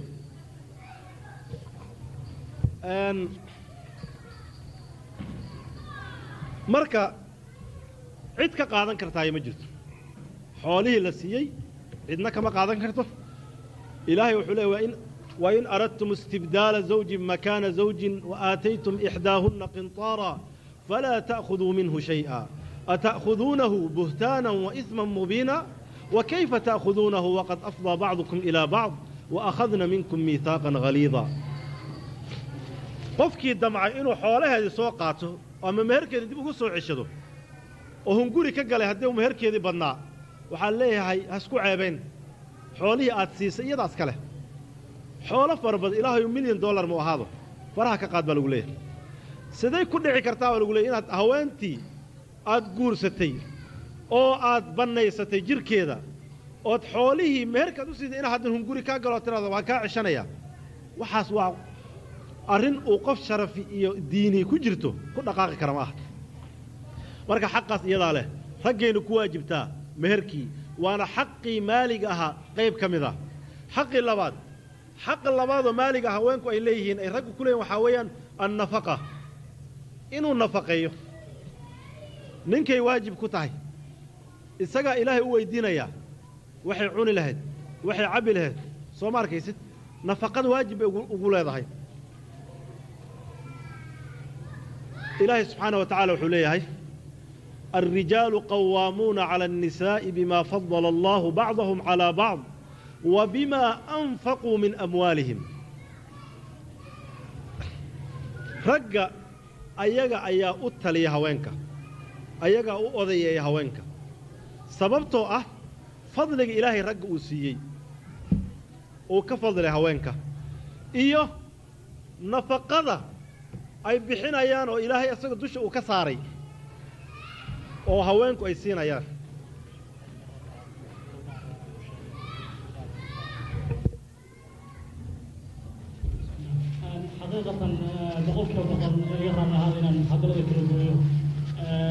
anigunbaa meesha igu waajibtay marka waxaan gabdhaha u sheegayaa walaalayaal inaan xaqiiqatan igu soo celiyo anigana xaqiiqatan af fiicnaan iyo ma aha idinkana idin lafta waan ku soo ceshay. Waxaan idinka baryaynaa si naxariis ku jirto inaad muxaadarada dhegaysataan. Gabdhaha soo dacwooda hadda waxay yidhahdeen muxaadarada ma maqleen. Dad baa suuri ka yimid dad baa rijku ka yimid dad baa rabaan ilaa naagteen inay meesha fadhiyaan. Marka haddii aydan dhiba aydan dhegaysanaynin xaqiiqatan sheekh baa waxaan ka maqlay isagoo fidyoonaya gabadha dhibta gabdhaha arrintan waa arrin mashhuur had goor laga sheekeeyo gabdho yani muxaadarooyinka isku dhibaan oo yani dhibaatooyin badan ka yimaadaan marka isagoo fidyoonaya arkay waa gabadhaasi yani way dambaabaysaa haddii ay gabdhaha walaala dhib u geysato wuxuuna u soo deliishay dar dhibaato ayay dhalinaysaa muslimkana muslimka inuu dhibo ma banaana sidaa daraaddeed walaalayaal taasna waa yani arrin diiniya oo markaas inaydan dambi aydan gelinin idankoo cibaado soo raadsaday haddii aynu cibaadayna ku jirna haddii aynu nigeysano haddii gabadhii carruurta ay ku dhibataa dhibtooto bannaanka hala tagto oo markaas ku soo aamusiiso marka si naxariis ku jirto waxaan idinka baryaynaa xaqiiqatan inaydan gabdhaha walaalihiina dhibin. Muxaadaradana aad yani haddaadan dhegaysanayna qofka dhegaysanay u daysaan wajazaakum allahu khayran.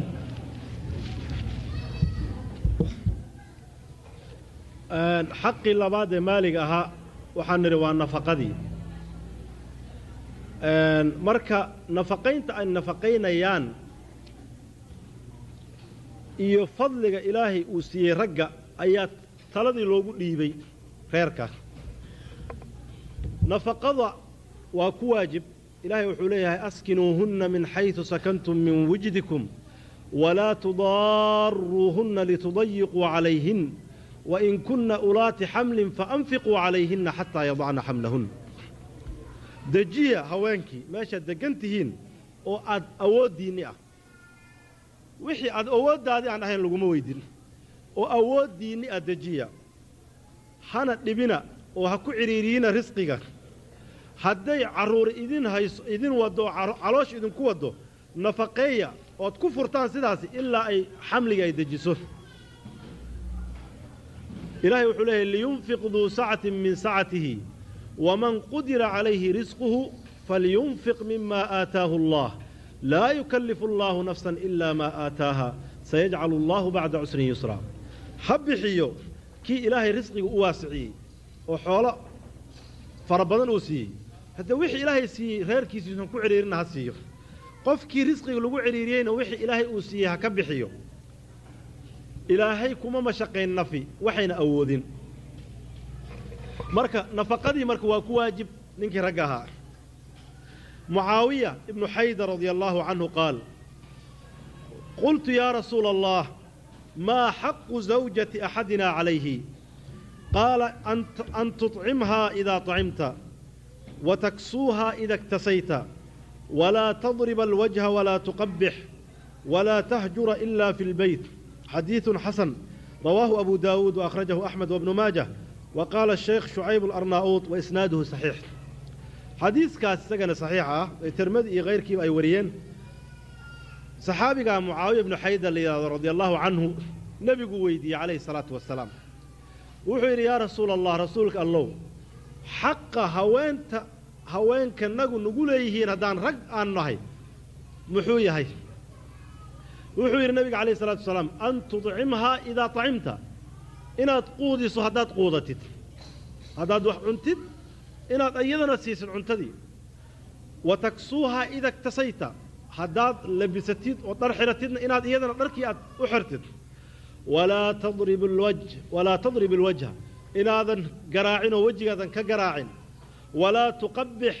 Inaadan odhin qabbaxaka allaah ilaahay ha ku dulleeyo ilaahay ha ku fool xumeeyo iyo wax la mid ah. Inaadan ku odhan maxaa yeele arrimahaas waxay keenaan nacayb iyo karaahiyo dhex marta dadka isqabay. Walaa tahjur inaadan uga uga haajurin ama aadan uga tegin ilaa fi lbeyti guriga dhexdiisa mooyaane. Waxa ay fasiraysaa xadiidka marka wuxuu fasirayaa aayaddii ahayd wallaatii takhaafuuna nushuusahunna faciduuhunna wadribuuhunna fi lmadaajic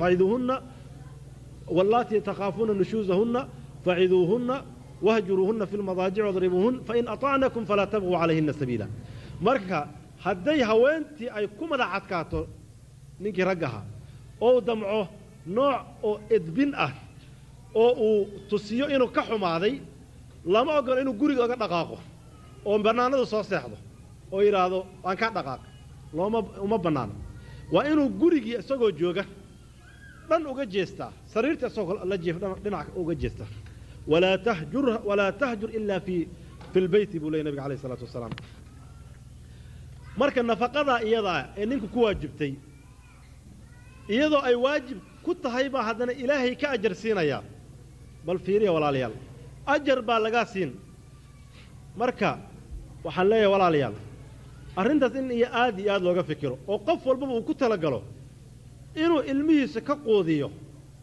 xooggiisa oo uu xaawilo oo uu ku dadaalo intii karaankiisa inuu ka quudiyo. Maxaa yeelay waxa aad quudinaysid waajibnimada ka sokow waa lagugu ajarsiin. Nabiga calayh isalaatu wasalaam wuxuu leeyahay xadiis saxiixa oo muslim warinayo diinaarun anfaqtahu fii sabiili illaah wa diinaarun anfaqtahu fii raqabatin wa diinaarun tasadaqta bihi calaa miskiinin wa diinaarun anfaqtahu calaa ahlika acdamuhaa ajran aladii anfaqtahu calaa ahlika hal diinaar ama haddaad doontay hal dollar oo aad jidka ilaahay ku bixiso fii sabiili illaah nin maskiin aad siiso ama jihaad yacni aada u bixiso iyo diinaar aad ku bixiso qof la furanayo oo la haysto iyo diinaar aad ku siiso qof miskiina iyo diinaar aad reerkaaga siiso waxaa ugu fadli badan dhammaantoodii kii aad reerkaaga siisay kii aad reerkaaga siisa ugu fadli badan. Inta kale oo dhan waxaa ka fadli badan kaad reerkaaga siisay marka waa sadaqo ka ajar weyn sadaqooyinkii kale o dhan. Xadiidkii sacd ibnu abi waqaasna ee saxiixayn ku jiray markuu yidhi yaa rasuula allah aniga nebiga uu tegay isagoo dhiman raba. Mar yacni xanuun ugu tegey uu yidhi gabar keliya ay dhexlaysa ee xoolahayga saddex meeloodow laba meel ma sadaqaystaa mayuu yidhi nebiga alayh isalatu wasalaam markaasuu yidhi xoolahayga bar ma sadaqaystaa mayuu yidhi. Xoolahayga saddex meeloodow meel ma sadaqaystaa buu yidhi. Mayuu yidhi. Markaas markaasuu yidhi fathuluthu wathuluthu kaiir haa thuluth yacni saddex meeloodoo meel waxaan ka ahayn. Meel saddex meeloodoo meel in ka badan ha sadaqayn. Maxaa yeelay ilmahaaga inaad ka tagtid ayagoo cayr ah oo dadka gacmaha u hoorsanaayo waxaa ka wanaagsan inaad ka tagto ayagoo wax haysta markaasuu yidhi nabiga alayh isalaatu wasalaam innaka lan tunfiqa nafaqatan tabtagii biha wajha allah ilaa ujirta biha xataa maa tajcalu fii fimra'atika nafaqo xoolo ma bixisid. Aad ilaahay wejigiisa aad ku dalbayso ilaa ilaahay abaal waa kaa abaalmarin haba ahaatee luqmadda haweentaad ay cunaysa ilmahaaga. Ajar baa lagaa siin. Marka in arrinta sidaa loo fahmo oo qofka uu ku talagalo shaygan waajib saaran inuu yahay. Saasoo kale haa in ay maarata sidaa uu fahmo. Maxaa yeelay xataa qiwaamada iyo talada hadda sheegnay waxay ku xasilaysaa qofki inuu maaragtay wax nafaqaynayo. Maxaa haddii kale waxay u muuqanaysaa qofkii qofaan waxba nafaqaynayno hadda meel kale ku tiirsan. Yacni waxaa laga yaabaa in maaragtay karaamadii ixtiraamkii loo hayayba inuu inuu meesha ka baxo. Marka nafaqadaasi waa ku waajib qofka muslimka ah. Waa inuu intii karaankiisa ah oo awooddiisa uu ku dadaalo inuu guto. Xuquuqdii maaliga ahayd ee haweenka waajibka ay u lahaayeen way taas ee ragga ku waajibtay. Xuquuqda kale ee xagga mucaamalada aynu maalka ahayn ee maadiga aan ahayn waxaa ka mid a xusnu mucaasharatihaa in si wanaagsan loola dhaqmo. In si wanaagsan loola dhaqmo. Macnaheedu maxay tahay? Si wanaagsan ha loola dhaqmo haddii la yidhaahdo waxay noqonaysaa in qofkii dareenkiisa la ilaaliyo inaan lagu xadgudbin inaan la dilin inaan maaragtay la dhibaataynin in muxuu ahaa yacni waxyaabahaas dhan baa soo gelaya in wixii dhibki dhib u keeni kara laga ilaaliyo. Ilaahay wuxuu leeyahay wacaashiruuhunna bilmacruuf fain karihtumuuhunna facasaa an takrahuu shay-an wayajcal allahu fiihi khayran kaiira haweenka si wanaagsan ula dhaqma buu yidhi rabbi subxaanahu wa tacaala si wanaagsan ragow ula dhaqma haweenka. Haddaad ku nacdaan qayb ka mid a akhlaaqdeeda. Sidaa noo imaan doonto yacni haweenku qallooc baa ku jira siduu nebiga alayh isalatu wasalaam uu sheegay. Haddaad qayb akhlaaqdeeda ka mid a aada nacdaan ilaahay wuxuu yidhi waxaa laga yaabaa inaad wax nacdaan oo khayr fara badan ilaahay subxana wa tacala idinka siiyo. Oo owlaad khayr qabta iyo reer maaragtay barwaaqa iyo waxyaabo badan oo aadan filanayn amaa shaygii halkii khalada qofka uu galay haddii haddii bannaanka lagu dhigo waxay noqonaysaa waxaan yani cadaaladii ku jirin. Saasoo kale qofku waa bani aadam. Qof dhammaystiran ma jiro soo ma arkaysid? Yacni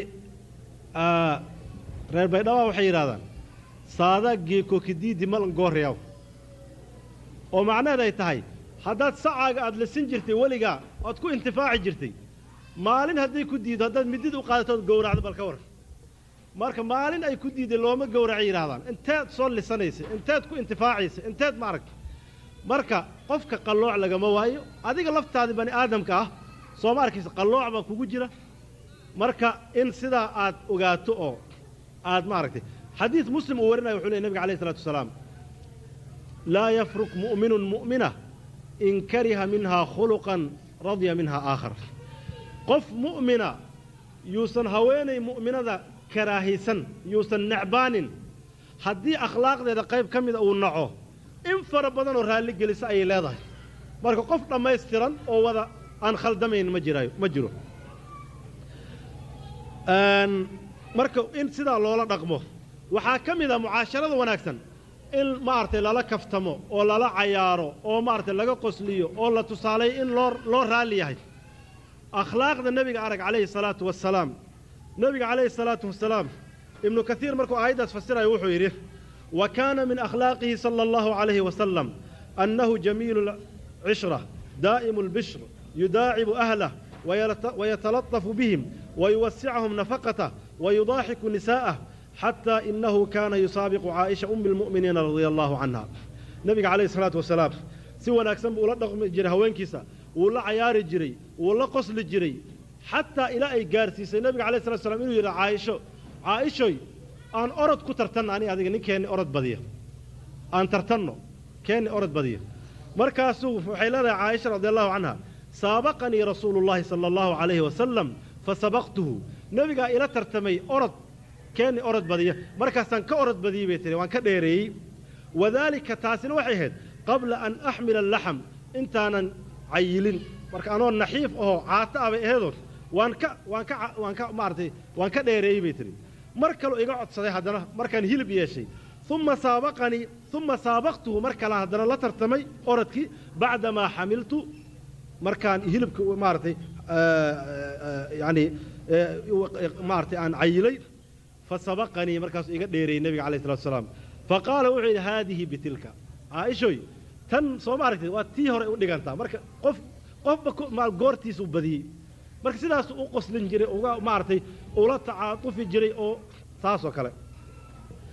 Waxaa kaloo iyadana qof loo baahan yahay qofka ragga mucaasharadaas markuu la imaanay inuu ogaado in haweenku fitra ahaanba dabcigooda uu qallooc ku jiro siduu nebiga calayhi salatu salaam uu yidhi almar'atu kaadilci in aqamtahaa kasartahaa wa in istamtacta biha istamtacta wa fiiha ciwaj haweentu waa sidii feer laf qalloocdoo kale haddaad laf qalloocda aad tidhaahdo toosi waad jebinaysaa buu yidhi nabig alay slatu salaam riwaayo kale waxay leedahay waa kasruhaa talaaquhaa jebinteedina waa furiddeeda marka haddaad ku aragto dabeecad qalloocan ama wax la mid a adigaa rag ah oo ilaahay rag kaa dhigay oo lagaa rabaa inaad sabirkeeda yeelatid oo u dulqaadatid amaa haddii aad yacni xanaaq iyo aad tidhaahdid markiiba dalqadihii aad soo tuurtid de waxaad noqonaysaa qof aan meesha waxba ku haynin mas'uuliyan aan qaadi karin. Maxaa mas'uuliyadda waxaa lagugu dhiibay inaad caqli wax ku miisaanto oo caatifadaada caqliga aad ka hormariso. Tan labaad siyaanatuhaa xaqa labaad mucaasharada wanaagsan kadib waxaa weyn inuu reerkiisa ilaaliyo. Ilaalada waxaan u wadaa sharafteeda inuu ku dadaalo wayajibu cala azawji an yasuuna zawjatahu wayaxfaduhaa yacni sharafkeedii iyo karaamadeedii iyo waxa yacni dhaawici kara maaragtay qalbigeedii inuu ka ilaaliyo soo maaragtay ama sumcadeedii wax yeeli kara waxaa kaloo ka mid ah ilaalintaasi inuu ka ilaaliyo inuusan asaga waxa ahayn ay dhugato marka taa maxaa loo wadaa haddee inuu mucaasharadeedii iyo ninkii hadduu haweentiisa weligiis isaga maqnaado waxaa laga yabaa inuu rag kale ay dhugato ama rag kale ay hoosta ka fiiriso ama dad kale ay raacdo. Marka waxay ku yacani arrintaasi ku imaanaysaa inuu ka ilaaliyo oo xaqeedii uu guto. Hadday tahay mucaasharadii dhaqankii labada ka dhexeeyey iyo isu baahashadii ay isu baahnaayeen xagga jinsiga ay isugu baahnaayeen inuu ma aragtay wax inta ay ku dhowrsoomi karto uu ku dhowro oo uu ku dadaalo. Haddiise uu ka gaabiyo waxaa dhici karta in markaa meeshii uu uu ka yimaado fasaad haddii uu ka safro waxaaba jira qof iska safro uu iska dhaqaaqi. Intuu doonowna maqnaan. Sana laba sano saddex sano muxuu ahaa toddoba bilood siddeed bilood ilaa ilaa aakhiri. Soo ma arkaysid? Waidaa saafara can imra'atihi isla markaasina uusan cudur lahayn uu kaga soo noqdo. Yacni cudur uu u soo oo kaga soo noqdona lahayn imaam axmed wuxuu leeyahay axmed ibnu xambal waxaa wakti loo siinaya qofkaasi lix bilood inuu ku soo noqdo. Lix bilood inuu reerkiisa u soo noqdo. Hadduu lix bilood ku soo laabto waa sidii la rabay. Haddii kale buu leeyahay xaakimka waa inuu soo dhex galaa ninkii ummadda muslimiinta xukumaya waa inuu soo dhex galaa maxaa yeele qofka kan laga dhaqaaqay ee ninkeeda u baahan ricaayadiis u baahan maamulkiis u baahan ugu baahan shahwadeeda ugu baahan hadduu iskaga dhaqaaqo ilaa sanad iyo laba sano intaas iska maqnaanaya laylamana hadli karo warkaas war la yeelaya maaha. Xaq baa lagugu leeyahay inaad ilaalisona waa kugu waajib. Xujadiisana waxay tahay imaam axmed wuxuu xujaysanayaa maa rawaahu abu xafs biisnaadin can zayd ibnu aslam qaal baynamaa cumar ibnu khadaab yaxrisu almadiina famara bimra'atin fii beytiha wa hiya taquul tataawala haada alleylu waswadda jaanibu.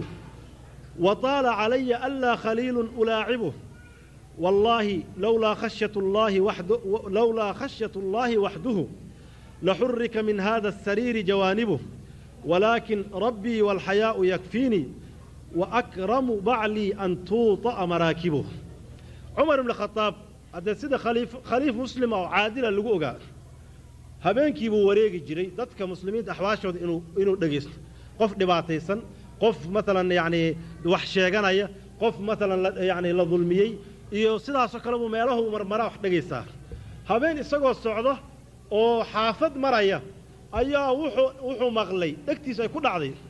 Haweenay calaacalaysa. Haweenay calaacalaysa ayuu maqlay oo gabyaysoo leh. Tataawala haada alleylu waswadda jaanibuh habeenkani wuu dheeraaday. Dhinacyadiisana way madoobaadeen wa taala calaya anigana waa igu dheeraaday. Calaa anlaa khaliilun ulaacibu. Saaxiib aan la cayaar anoon haysan. Yacni ninkeedii baa ka safra oo ka dhaqa yani wuxuu aaday jihaadka loo diray. Wa taala calaya anlaa khaliilun ulaacibu. Wallaahi lowlaa khashyatu allaahi waxdahu waxay leedahay ilaahay baan ku dhaaranayaaye. Allaha keliga ah baqdintiisii haddaynan ahayn oo aan isaga ka baqayo oo isaga aan yacni weynaynayo maaragtay aan ka baqay haddaynan ahayn la xurrika min hada asariiru jawaanibu. Sariirtan dhinacyadeeda way gilgilan lahay way gilgilan lahayd bay tiri. Yacni dad nin baan u yeehan lahaa soo ma arkaysid marka sariirta way gilgilan lahayd. Laakiin waxa iga celinaya waxay tahay diintayda iyo alla ka baqayga. Walaakin rabbii ay khashyata rabbii rabbigayga baqdin aan ka baqaayo iyo xishood aniga igu filan oo ilaahay i siiyey iyo wa- wa ukrimu wa ukrimu wa ukrimu baclii inaan ninkayga karaamaynayo an tuuta'a maraakibu gogashiisa inaan halleeyo. Intaa haddaynan ahayn alla ilahay maanta sariirtani way gilgilan lahayd. Midna waan soo gelin lahaa bay tiri cumar ibnu khataab warkiibuu la dhafakaaray oo la yaabay oo dhegaystay oo uu ya waana mas'uulkii muslimiinta. Fasa'ala canhaa cumar. Cumar baa weydiiyey wuxuu yidhi haweentan waa tuma faqiila lahu haadihi fulaana tani waa fulaano wey heblaayo wey wa zawjuhaa qaa'ibun fii sabiili illaah ninkeedina wuxuu jiraa jihaadku ku maqan yahaa baa la yidhi yaa amiira almu'miniin fa arsala ilayha takuunu macahu cumar ibnu khadaab uu u yeedhay wa bacatha ilaa zawjiha fa aqfalahu ninkiina cid buu u diray wuxuu yidhi ha soo celiyo jihaadka laga soo celiyo uma dakhala calaa xafsa gabadhiisa xafsaha u soo galay radia allaahu canha cumar ibnu khadaab faqaala wuxuu yidhi yaa bunayata gabadhaydiyay kam tasbiru almar'atu can zawjiha? Haweenta intee bay ka sabri kartaa ninkeeda? Intee bay u adkaysan kartaa hadduu ninka ka maqnaado? Waa gabadhiis uu weydiinaya cumar ibn khadaab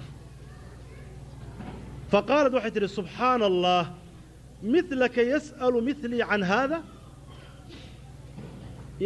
waxay tihi subxaana allah adoo kale oo waalidkay ah miyaa arrintaas i weydiinaya aniga. Macnaha yani arrintaas kugu dhiirada inaan ku idhaahdo fa qaala wuxuu yidhi lowlaa innii uriidu annadara lilmuslimiin. Maa haddaanan doonaynin inaan muslimiinta maslaxaddoodii aan fiiriyo oo aan ka soo saaro qaanuun iyo qaraar arrintan kuma weydiiyeen buu yidhi. Qaalat waxay tihi sittata ashhur lix bilood. Fawaqata linnaasi fii magaasiihim sittata ashhur. Cumar ibn khadaab qaanuun buu ka soo saaray wareegta uu soo saaray uu leeyahay ninka haweentiisa ka maqnaanayo lix bilood ka badan ma maqnaan karo. Bil uu jihaadku u sii soconayo afar bilooda uu joogayo bil uu soo laabanayo lix bilood ka badan maalin loogu dari maayo. Maxaad u malaynaysaa hadda waaqicanna fiirisid? Haweenka laysaga dhaqaaqayo oo sanad iyo laba sano iyo saddex sano laga maqan yahay soo ma arkaysid? Oan loo imaanaynin arrintaas waajib baa ka saaran ragga. Rag yaho laga baqo. Arrinta ha la ilaaliyo. Soo ma arkaysid? Iskama maqnaan kartid waajib baa ku saaran. Waajibkaasina inaad ka soo baxda ilaahay baa ku su'aali doonaa lagu weydiin doonaa. Xaqa kale ay ku leeyihiin waxaa ka mid ah cadamu alidraari biha. Inuusan yacni dhibaataynin ama dhibkeedii maaragtay uusan ka shaqayn dhibkeeda waxaa ka mid ah siday jaahiliyada yeeli jireen oo kale. Waxa la yidhahda iilaa bay samayn jireen. Ninkii uu dhaaran wuxuu leeyahay wallaahi sanad kuu tegi maayo kuuna soo dhowaan maayo ninna kuu noqon maayo laba sano ninna kuu noqon maayo kuna furi maayo. Arrintaas iyadaa wax kama jiraan bay noqotay marka islaamku yimid. Inaad dhaarato tidhaahdo nin kuu noqon maayo kuna furi maayo warkaa wax soconaya maaha qofkanu ma aha xoolo aad leedahay meel ku xidhatay ama qofkan dareen lahaynoo kuu xidhan oo ama loox meel iska yaalla maaha iilaha waxaa la yidhaahdo ama qofku haweentiisa ka dhaarta hadduu edbin uga jeedo afar bilood ka badan looma oggola afar bilood wax ka badan inuu ka dhaarto looma oggola ilahay wuxuu yidhi liladiina yu'luuna min nisaa'ihim tarabbusu arbacati ashhur. Fain faa'uu faina allaha gafuurun raxiim wain cazamuu طalaaq faina allaha samiicun caliim ragga ka dhaartay haweenkooda inaynan nin u noqon inayan nin u noqon ayana furinna afar bilood muddo ah bay leeyihiin haddii afartii bilood dhexdeeda ay soo noqdaan oo afar bilood dhexdeeda uu ka soo noqdo afar bilood buu yidhi kuu dhowaan maayo afartii bilood dhexdeeda uu soo noqdo fa ina allaha gafuurun raxiim ilaahay waa mid dhaafa oo naxariista. Dee kafaaradii dhaartii kafaaradeedii baa laga rabaa inuu ka kafaaro guto haddii afartii ay dhaafto waa inuu furaa. Waa inuu furaa. Sidaa daraaddeed imaam maalig isaga wuxuu leeyahay qaaliga waa inuu soo dhex galaa oo uu ka furaa. Shaafici iyo axmed ibnu xambal ayagu waxay leeyihiin maye qaaliga waa inuu xidhaa qofkaasi uu cadaadiya si uu u furo. Abuu xaniifa isaga wuxuuba qabaa automatically afarta bilood hadday dhamaato way furmaysaa. Maxaa yeele qofkan waa qof xaq leh. Soo ma arkaysid? Oo xaqiisii marka cadaadin iyo dhibaatayn iyo kuwaan ku haynayaa weligeyna ku furi maayo cid kalena ma guursan kartid. Mana yacni ku dhaqi maayo ku dhigina maayo ah warkaasi wax jira ma ah. Ya? Xaqa afraad ay ku leeyihiin waxay tahay inuu u cadaalad falo. Qofka hadduu haween wax ka badan uu leeyahay xaasaskiisu hadday badan yihiin laba iyo wixii ka badan. Sidee ugu cadaalad falayaa inuu ka simo la seexashada iyo waxa uu siinayo iyo wixii asaga uu awoodo oo maaragtay karaankiisa ah. Dabcan qalbiga ha ka simo oo si equali ah qalbigiisa ugu qaybiya cidina ma laha. Arrintaas wax suuragala ma ah. Lagumana haysto. Nebiga calayhi salatu wasalaam markuu haweenkiisa u qaybiyey wakhtiyadooda wuxuu yidhi allaahumma innii amliku haada. Ilaahu aniga yacni kan baan awoodaa intii aan awooday waan ka soo baxay. Waxaanan awoodin ilaahayow ha ii qabanin. Waxaa ka mid ah xaqa kale ay ku leedahay tacliimuhaa maa yanfacuhaa min umuuri diiniha inuu baro diinteedii wixii ka anfacaya iyo wixii ku waajiba diinteedii hadduu cilmi dhaamo inuu baro wixii ku waajiba faradkii iyo salaaddii iyo iyo axkaamtii haweenka la xidhiiray xaydkii iyo wixii la mida wixii ku dhamo inuu baraa. Hadduusan bari karin waa inuu u ogolaadaa meesha laga barto cilmiga iyo ahlulcilmiga iyo majaalista inay tagto wax ka barato.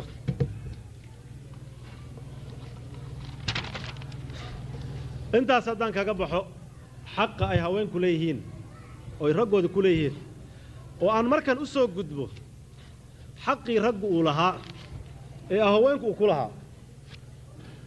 Kow midda ugu horraysa waxay tahay alqiwaama. Talo iyo odayayn odaynimadii reerka waxaa iskale ninka. In lagu qabsado oo lagula murmo haweentu xaquma laha.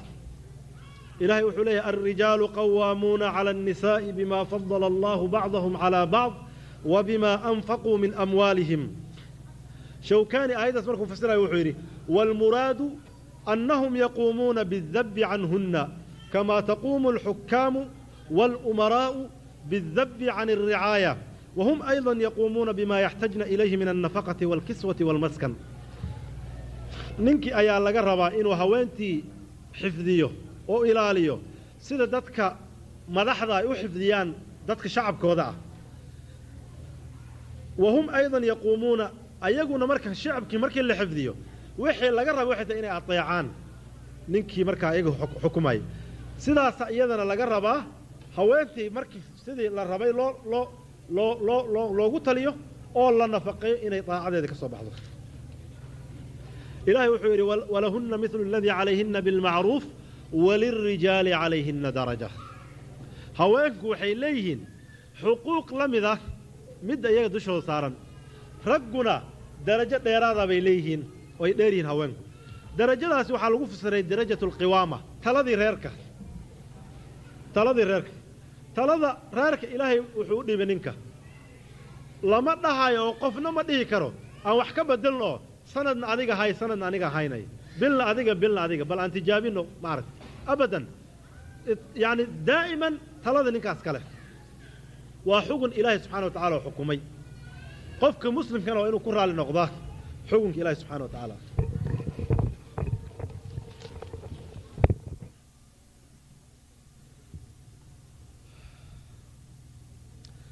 marka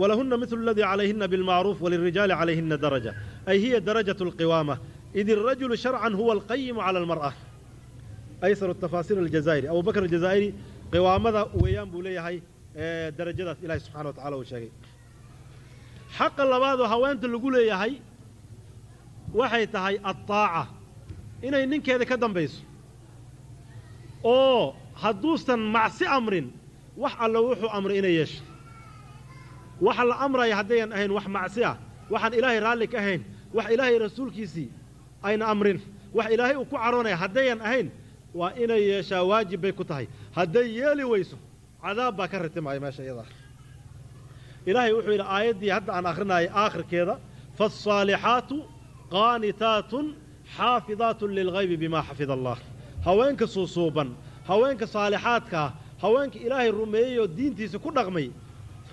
Waxaa weeyaan raggoodii bay ka dambeeyaan oo ay maqlaan. Naftoodina way ilaaliyaan iyo maalkiisii markuu ka maqan yahay.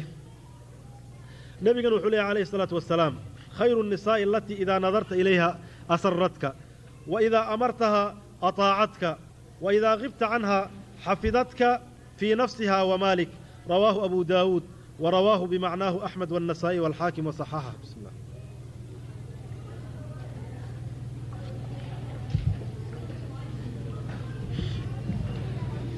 haweenka waxaa ugu wanaagsan buu yidhi nebiga calayhi isalaatu wasalaam.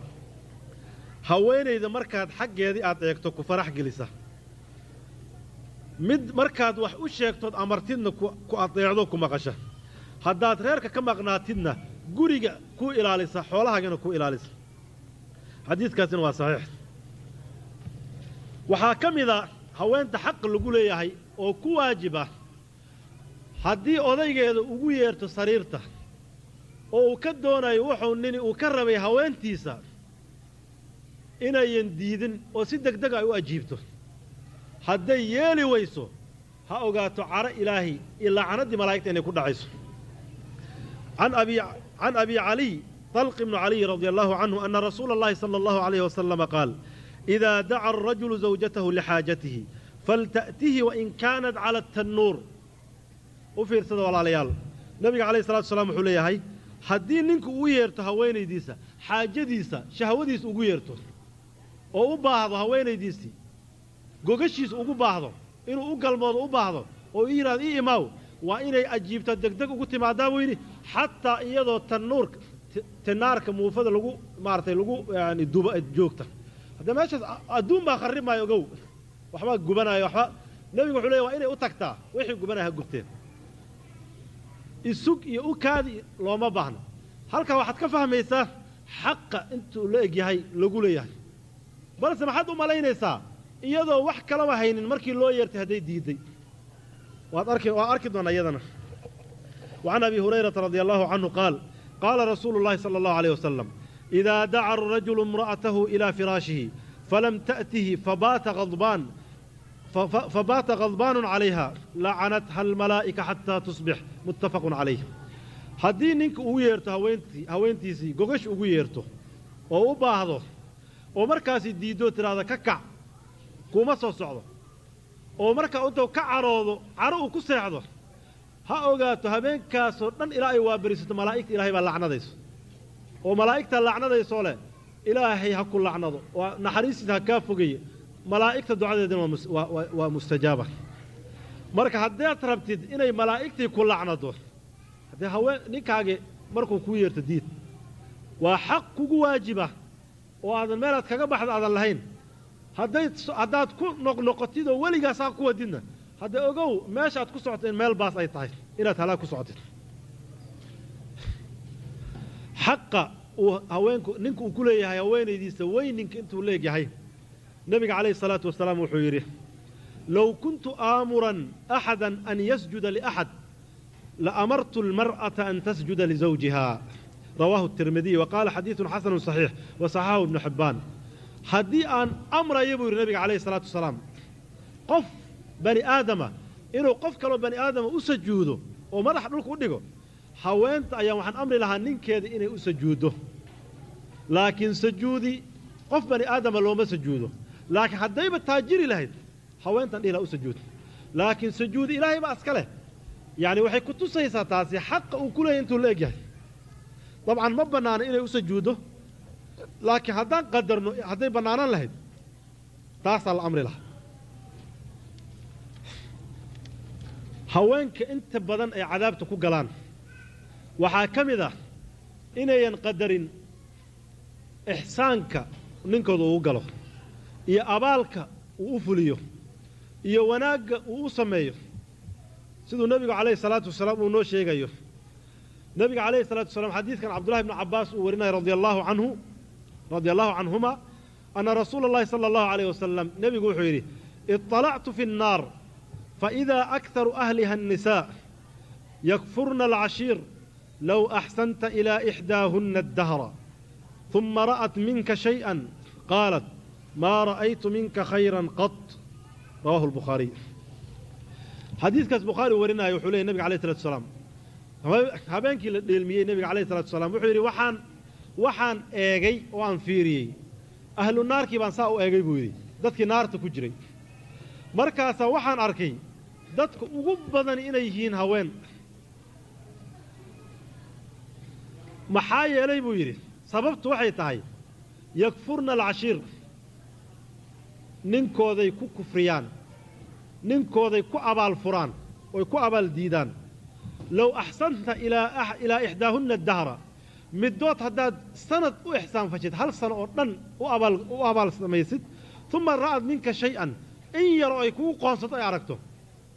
Qaalad waxay odhanaysaa maa ra'aytu minka khayran qad. Weligaaba khayr laguguma oga weliga waxaad abidkaaba nin khayr daran baad ahayd. Khayr laguguma oga arrinkaasuna cadaalad ma aha ilaahayna wuxuu leeyahy walaa yajrimannakum shana'aanu qowmin calaa an laa tacdiluu. In qofka marka cadaalad had iyo jeeraale uu ku taagnaado ayaa laga rabaa. Marka haweenkiiow raggiinnii maqla oo sababta aad ku halaagsamaysaan ka jooga oo ateeca oo warkoodii maqla. Marba hadduu waxuu idin amraayo ayan ahayn macsi. Ama hadday macsi timaaddo oo shay macsi uu ku amro marka iyada ah xaquuguma laha inuu ku amro adigana xaq laguguma laha inaad samayso. Xaqa lagu leeyahy waxaa ka mid ah oo kale isti'daanuhu fii sawmi tatawuc isti'daanuhu fii sawmi tatawuc in kaana xaadiran min hayr musaafir. Haddii ninkii uu joogo ousan safar ku maqnayn haweenta inayan soomin soon sunno ah ilaa isaga idan weydiisato. U fiirsada hadalkaas. Haweentii haddii ninkii uu joogo waa inayan soomin soon sunno ah ilaa ay idan weydiisato maxaa yeelay berri buu u baahan karaa iyadoo maalintii sooman. Marka waa soomanahay may odhan la yeeli maayo. Marka horeba waxaa lagu leeyahay ma soomi kartid ilaa uu ku idmo. Soonkii waajibka asaga waa ka duwan yahay. Tan afaraad xifdu maalahu fi xifdu maalihi wa sawni cirdihi waanlaa tukhrija waanlaa takhruja min beyti ilaa biidnihi. Maalkiisa iyo xoolihiisa inay u ilaaliso gurigana ayna ka bixin ilaa idinkiisa mooyaane. Waa in la kala dambeeya. Sidaan sheegnay taladu baabuur laba shifeer isteersadiis ay wada qabatay ama steerinkiisii haddee waad garanaysaa natiijada yani ka ratimaysa. Marka steerinka ninka ha loo daayo isagana ha la maqlo. Sidii markaa waxaa si nabadgelya uu gaari ugu socdo. Marka intaas ayaan maaragtay ku soo gabagabaynaya waktigii oo dhammaaday awgii. Laakiin waxaan xasuusinayaa ikhwaanii fillaah walaalahayga ragga. ah iyo walaalahayga haweenka ah waxaan leeyahay ilaahay ka baqa. Walaalayaal diintiinni barta oo ku dhaqma. Walaalayaal ilaahiinni u soo noqda oo haddaad barwaaqo doonaysaan ood doonaysaan in dembigiinni la dhaafo oo ilaahay uu nuur idin siiyo iyo barwaaqo adduunye iyo janno aakhira ilaahiinna ka baqa. Yaa ayuha aladiina aamanuu in tattaquu allaha yajcal lakum furqaana wayukafir cankum sayi'aatikum wayakfir lakum wallaahu du lfadli alcadiim ilaahay ka baqa haddaad ilaahay ka baqdaan wax aad wax walbaba aad ku kala saartaan xaqa iyo baatilka ayuu ilaahay idin siin awooda ilaahay dembigiinuu dhaafi ilaahay barwaaq haddaad ilaahay ka baqdaan ood ilaahay kaga baqdaanoo salaaxa labadan reer labadan qof ee mas'uuliyiinta ee ninkii ragga ah iyo haweenaydii waxaan la sheegaya ay dabaqaanoo ilaahoodii uga baqaan. Hadda ilmaha meesha ka imaanayana waxaa loo rajaynaya inay noqdaan ilmo saalixa. To mawduucii kale wakhti uma hayo. Wakhtiguna waa cidhiiriyoobay wuuna dhammaaday. Marka haddii ilaahay yidhaahdo mar dambe haddaan ilaahayna kulmiyo yaa si faahfaahsan isagana uga hadli doonnaa. Laakiin ilmo wanaagsani waxay ka yimaadaan reer wanaagsan reer ismaqlaya reer ilaahay ka baqaya reer ilaahay diintiis u hoggaansan waalbaladu ayibu yakhruju nabaatuhu biidni rabbih waaladii khabusa laa yakhruju ilaa nakida marka reeraha waa in la wanaajiyaa nin walbow mas'uuliyaddaada ka soo bax qof walbow gooni u ogow inuu ilaahay keligaa ku xisaabin doono gaarna lagu weydiin doono gaarna xisaabtaadii loo qaadi doono ama aad ku ciqaab mudan doonto ama ku janno mudan doonto marka aquulu maa tasmacuun waastaqfiru allaha lii walakum wasalaamu calaykum waraxmat ullahi wabarakaatu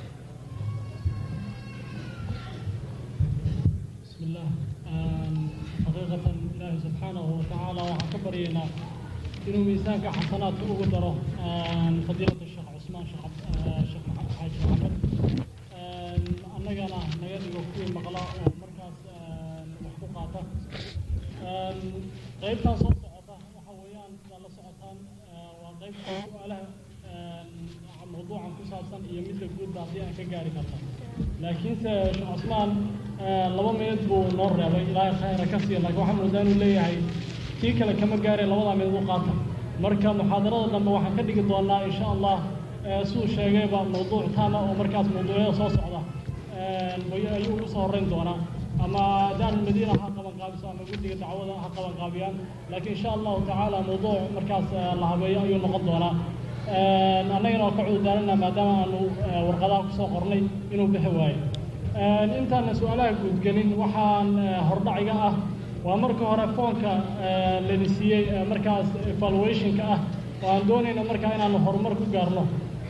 Ra'yigiina ra'yigu cidna lama dhaba dhalanayo markii laysku keeno wax tara. Marka ra'yigiina noogu qora insha allah si aan uga faa'iidaysano. Una dhiiba ikhwada u xil saaran sheekh cabdilxaliim iyo nuur iyo insha allah iyo ragga kale oo hawsha wada. Insha allah u dhiiba hadhowto waxaa kale oo iyana rabaa inaan tilmaamo su'aaluhu waxay noqon doonaan in la soo qoro. su'aalaha fadlan in la soo qoro si aynu taymka u dhowrno awna si deganaana uu noogu baxo. Barnaamijkiisa ka hartay su'aaluhu qoraal ayay noqon doonaan. Haddii rabbi idmo. Tan kale oo aan ku darayo waxa weeyaan waxaa iga cududaara su'aalaha haddii ay aan dhammaystiri weyno. Haddee taymka ayaa masaamix waayey marka culimmadu waa culimmadii magaalada ayay ka mid yihiin marka telefoonkoodana waxa weeyaan lacag badan. Maaha oo waa free marka insha allah qof kasta aad ba u jecel inaad soo wacdaan oo aad weydiisaan arrimaha diinta. Marka weydiiya wixii dheeraada oo markaa markaa laga jawaabin. Tan saddexaad tan saddexaad aan tilmaamayo waxa weeyaan casharka. Waxaan horumarinaynaa su'aalaha ku saabsan casharka. Kuwa kale oo guudna waxaan u gadaal dhiganaynaa haddii aan ka gaari doono insha allah waxa taymka inta noo hartay.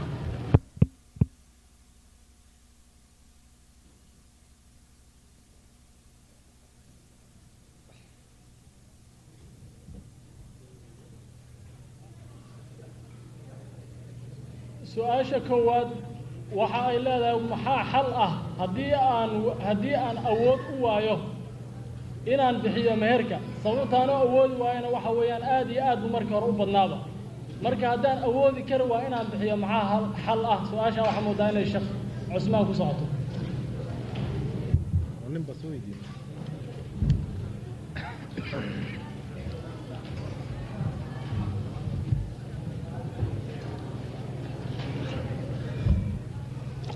Bismi illaahi raxmaan raxiim waxaan leeyahay ninka su'aashan soo qoray.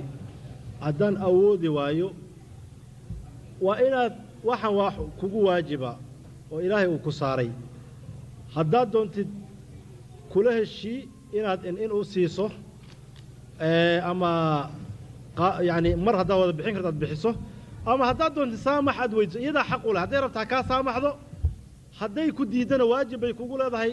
Waa in wax lagaa rabo oo waajibku waa inaad bixiso u shaqay hadduu ilaahay waa xoog ku siiyey marba haddaad shaqayn kartid muxuu ahaa aad yani shaqanaad yani aad heli kartid waa inaad shaqaysaa oo waajibkaa ku saaran aad ka soo baxdaa. Hadday kaa saamaxdana haddee waa waa xaq ba iyadaa xaq u leh marka waxba kuma saarno su'aasha labaad waxay leedahay sheekh haddii ninku maqnaado afar bilood haddii uu yacni ka maqnaado xaaskiisa afar bilood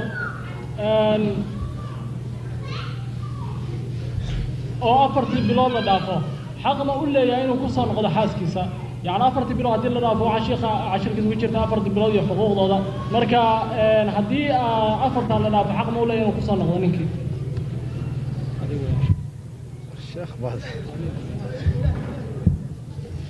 Su'aasha haddii aan fahmay waxay u wadaan yani waxaa laga yaaba qofku inuusan fahmin. Markaan iilaaha ka hadlayo waxa la yidhahda wax iilaa la yidhahdaa jira oo qofka haddii uu ku dhaarto oo yidhaahdo haweentayda ama inuu edbinayo ha ugu talagalo yidhaahdo u galmoon maayo una dhowaan maayo.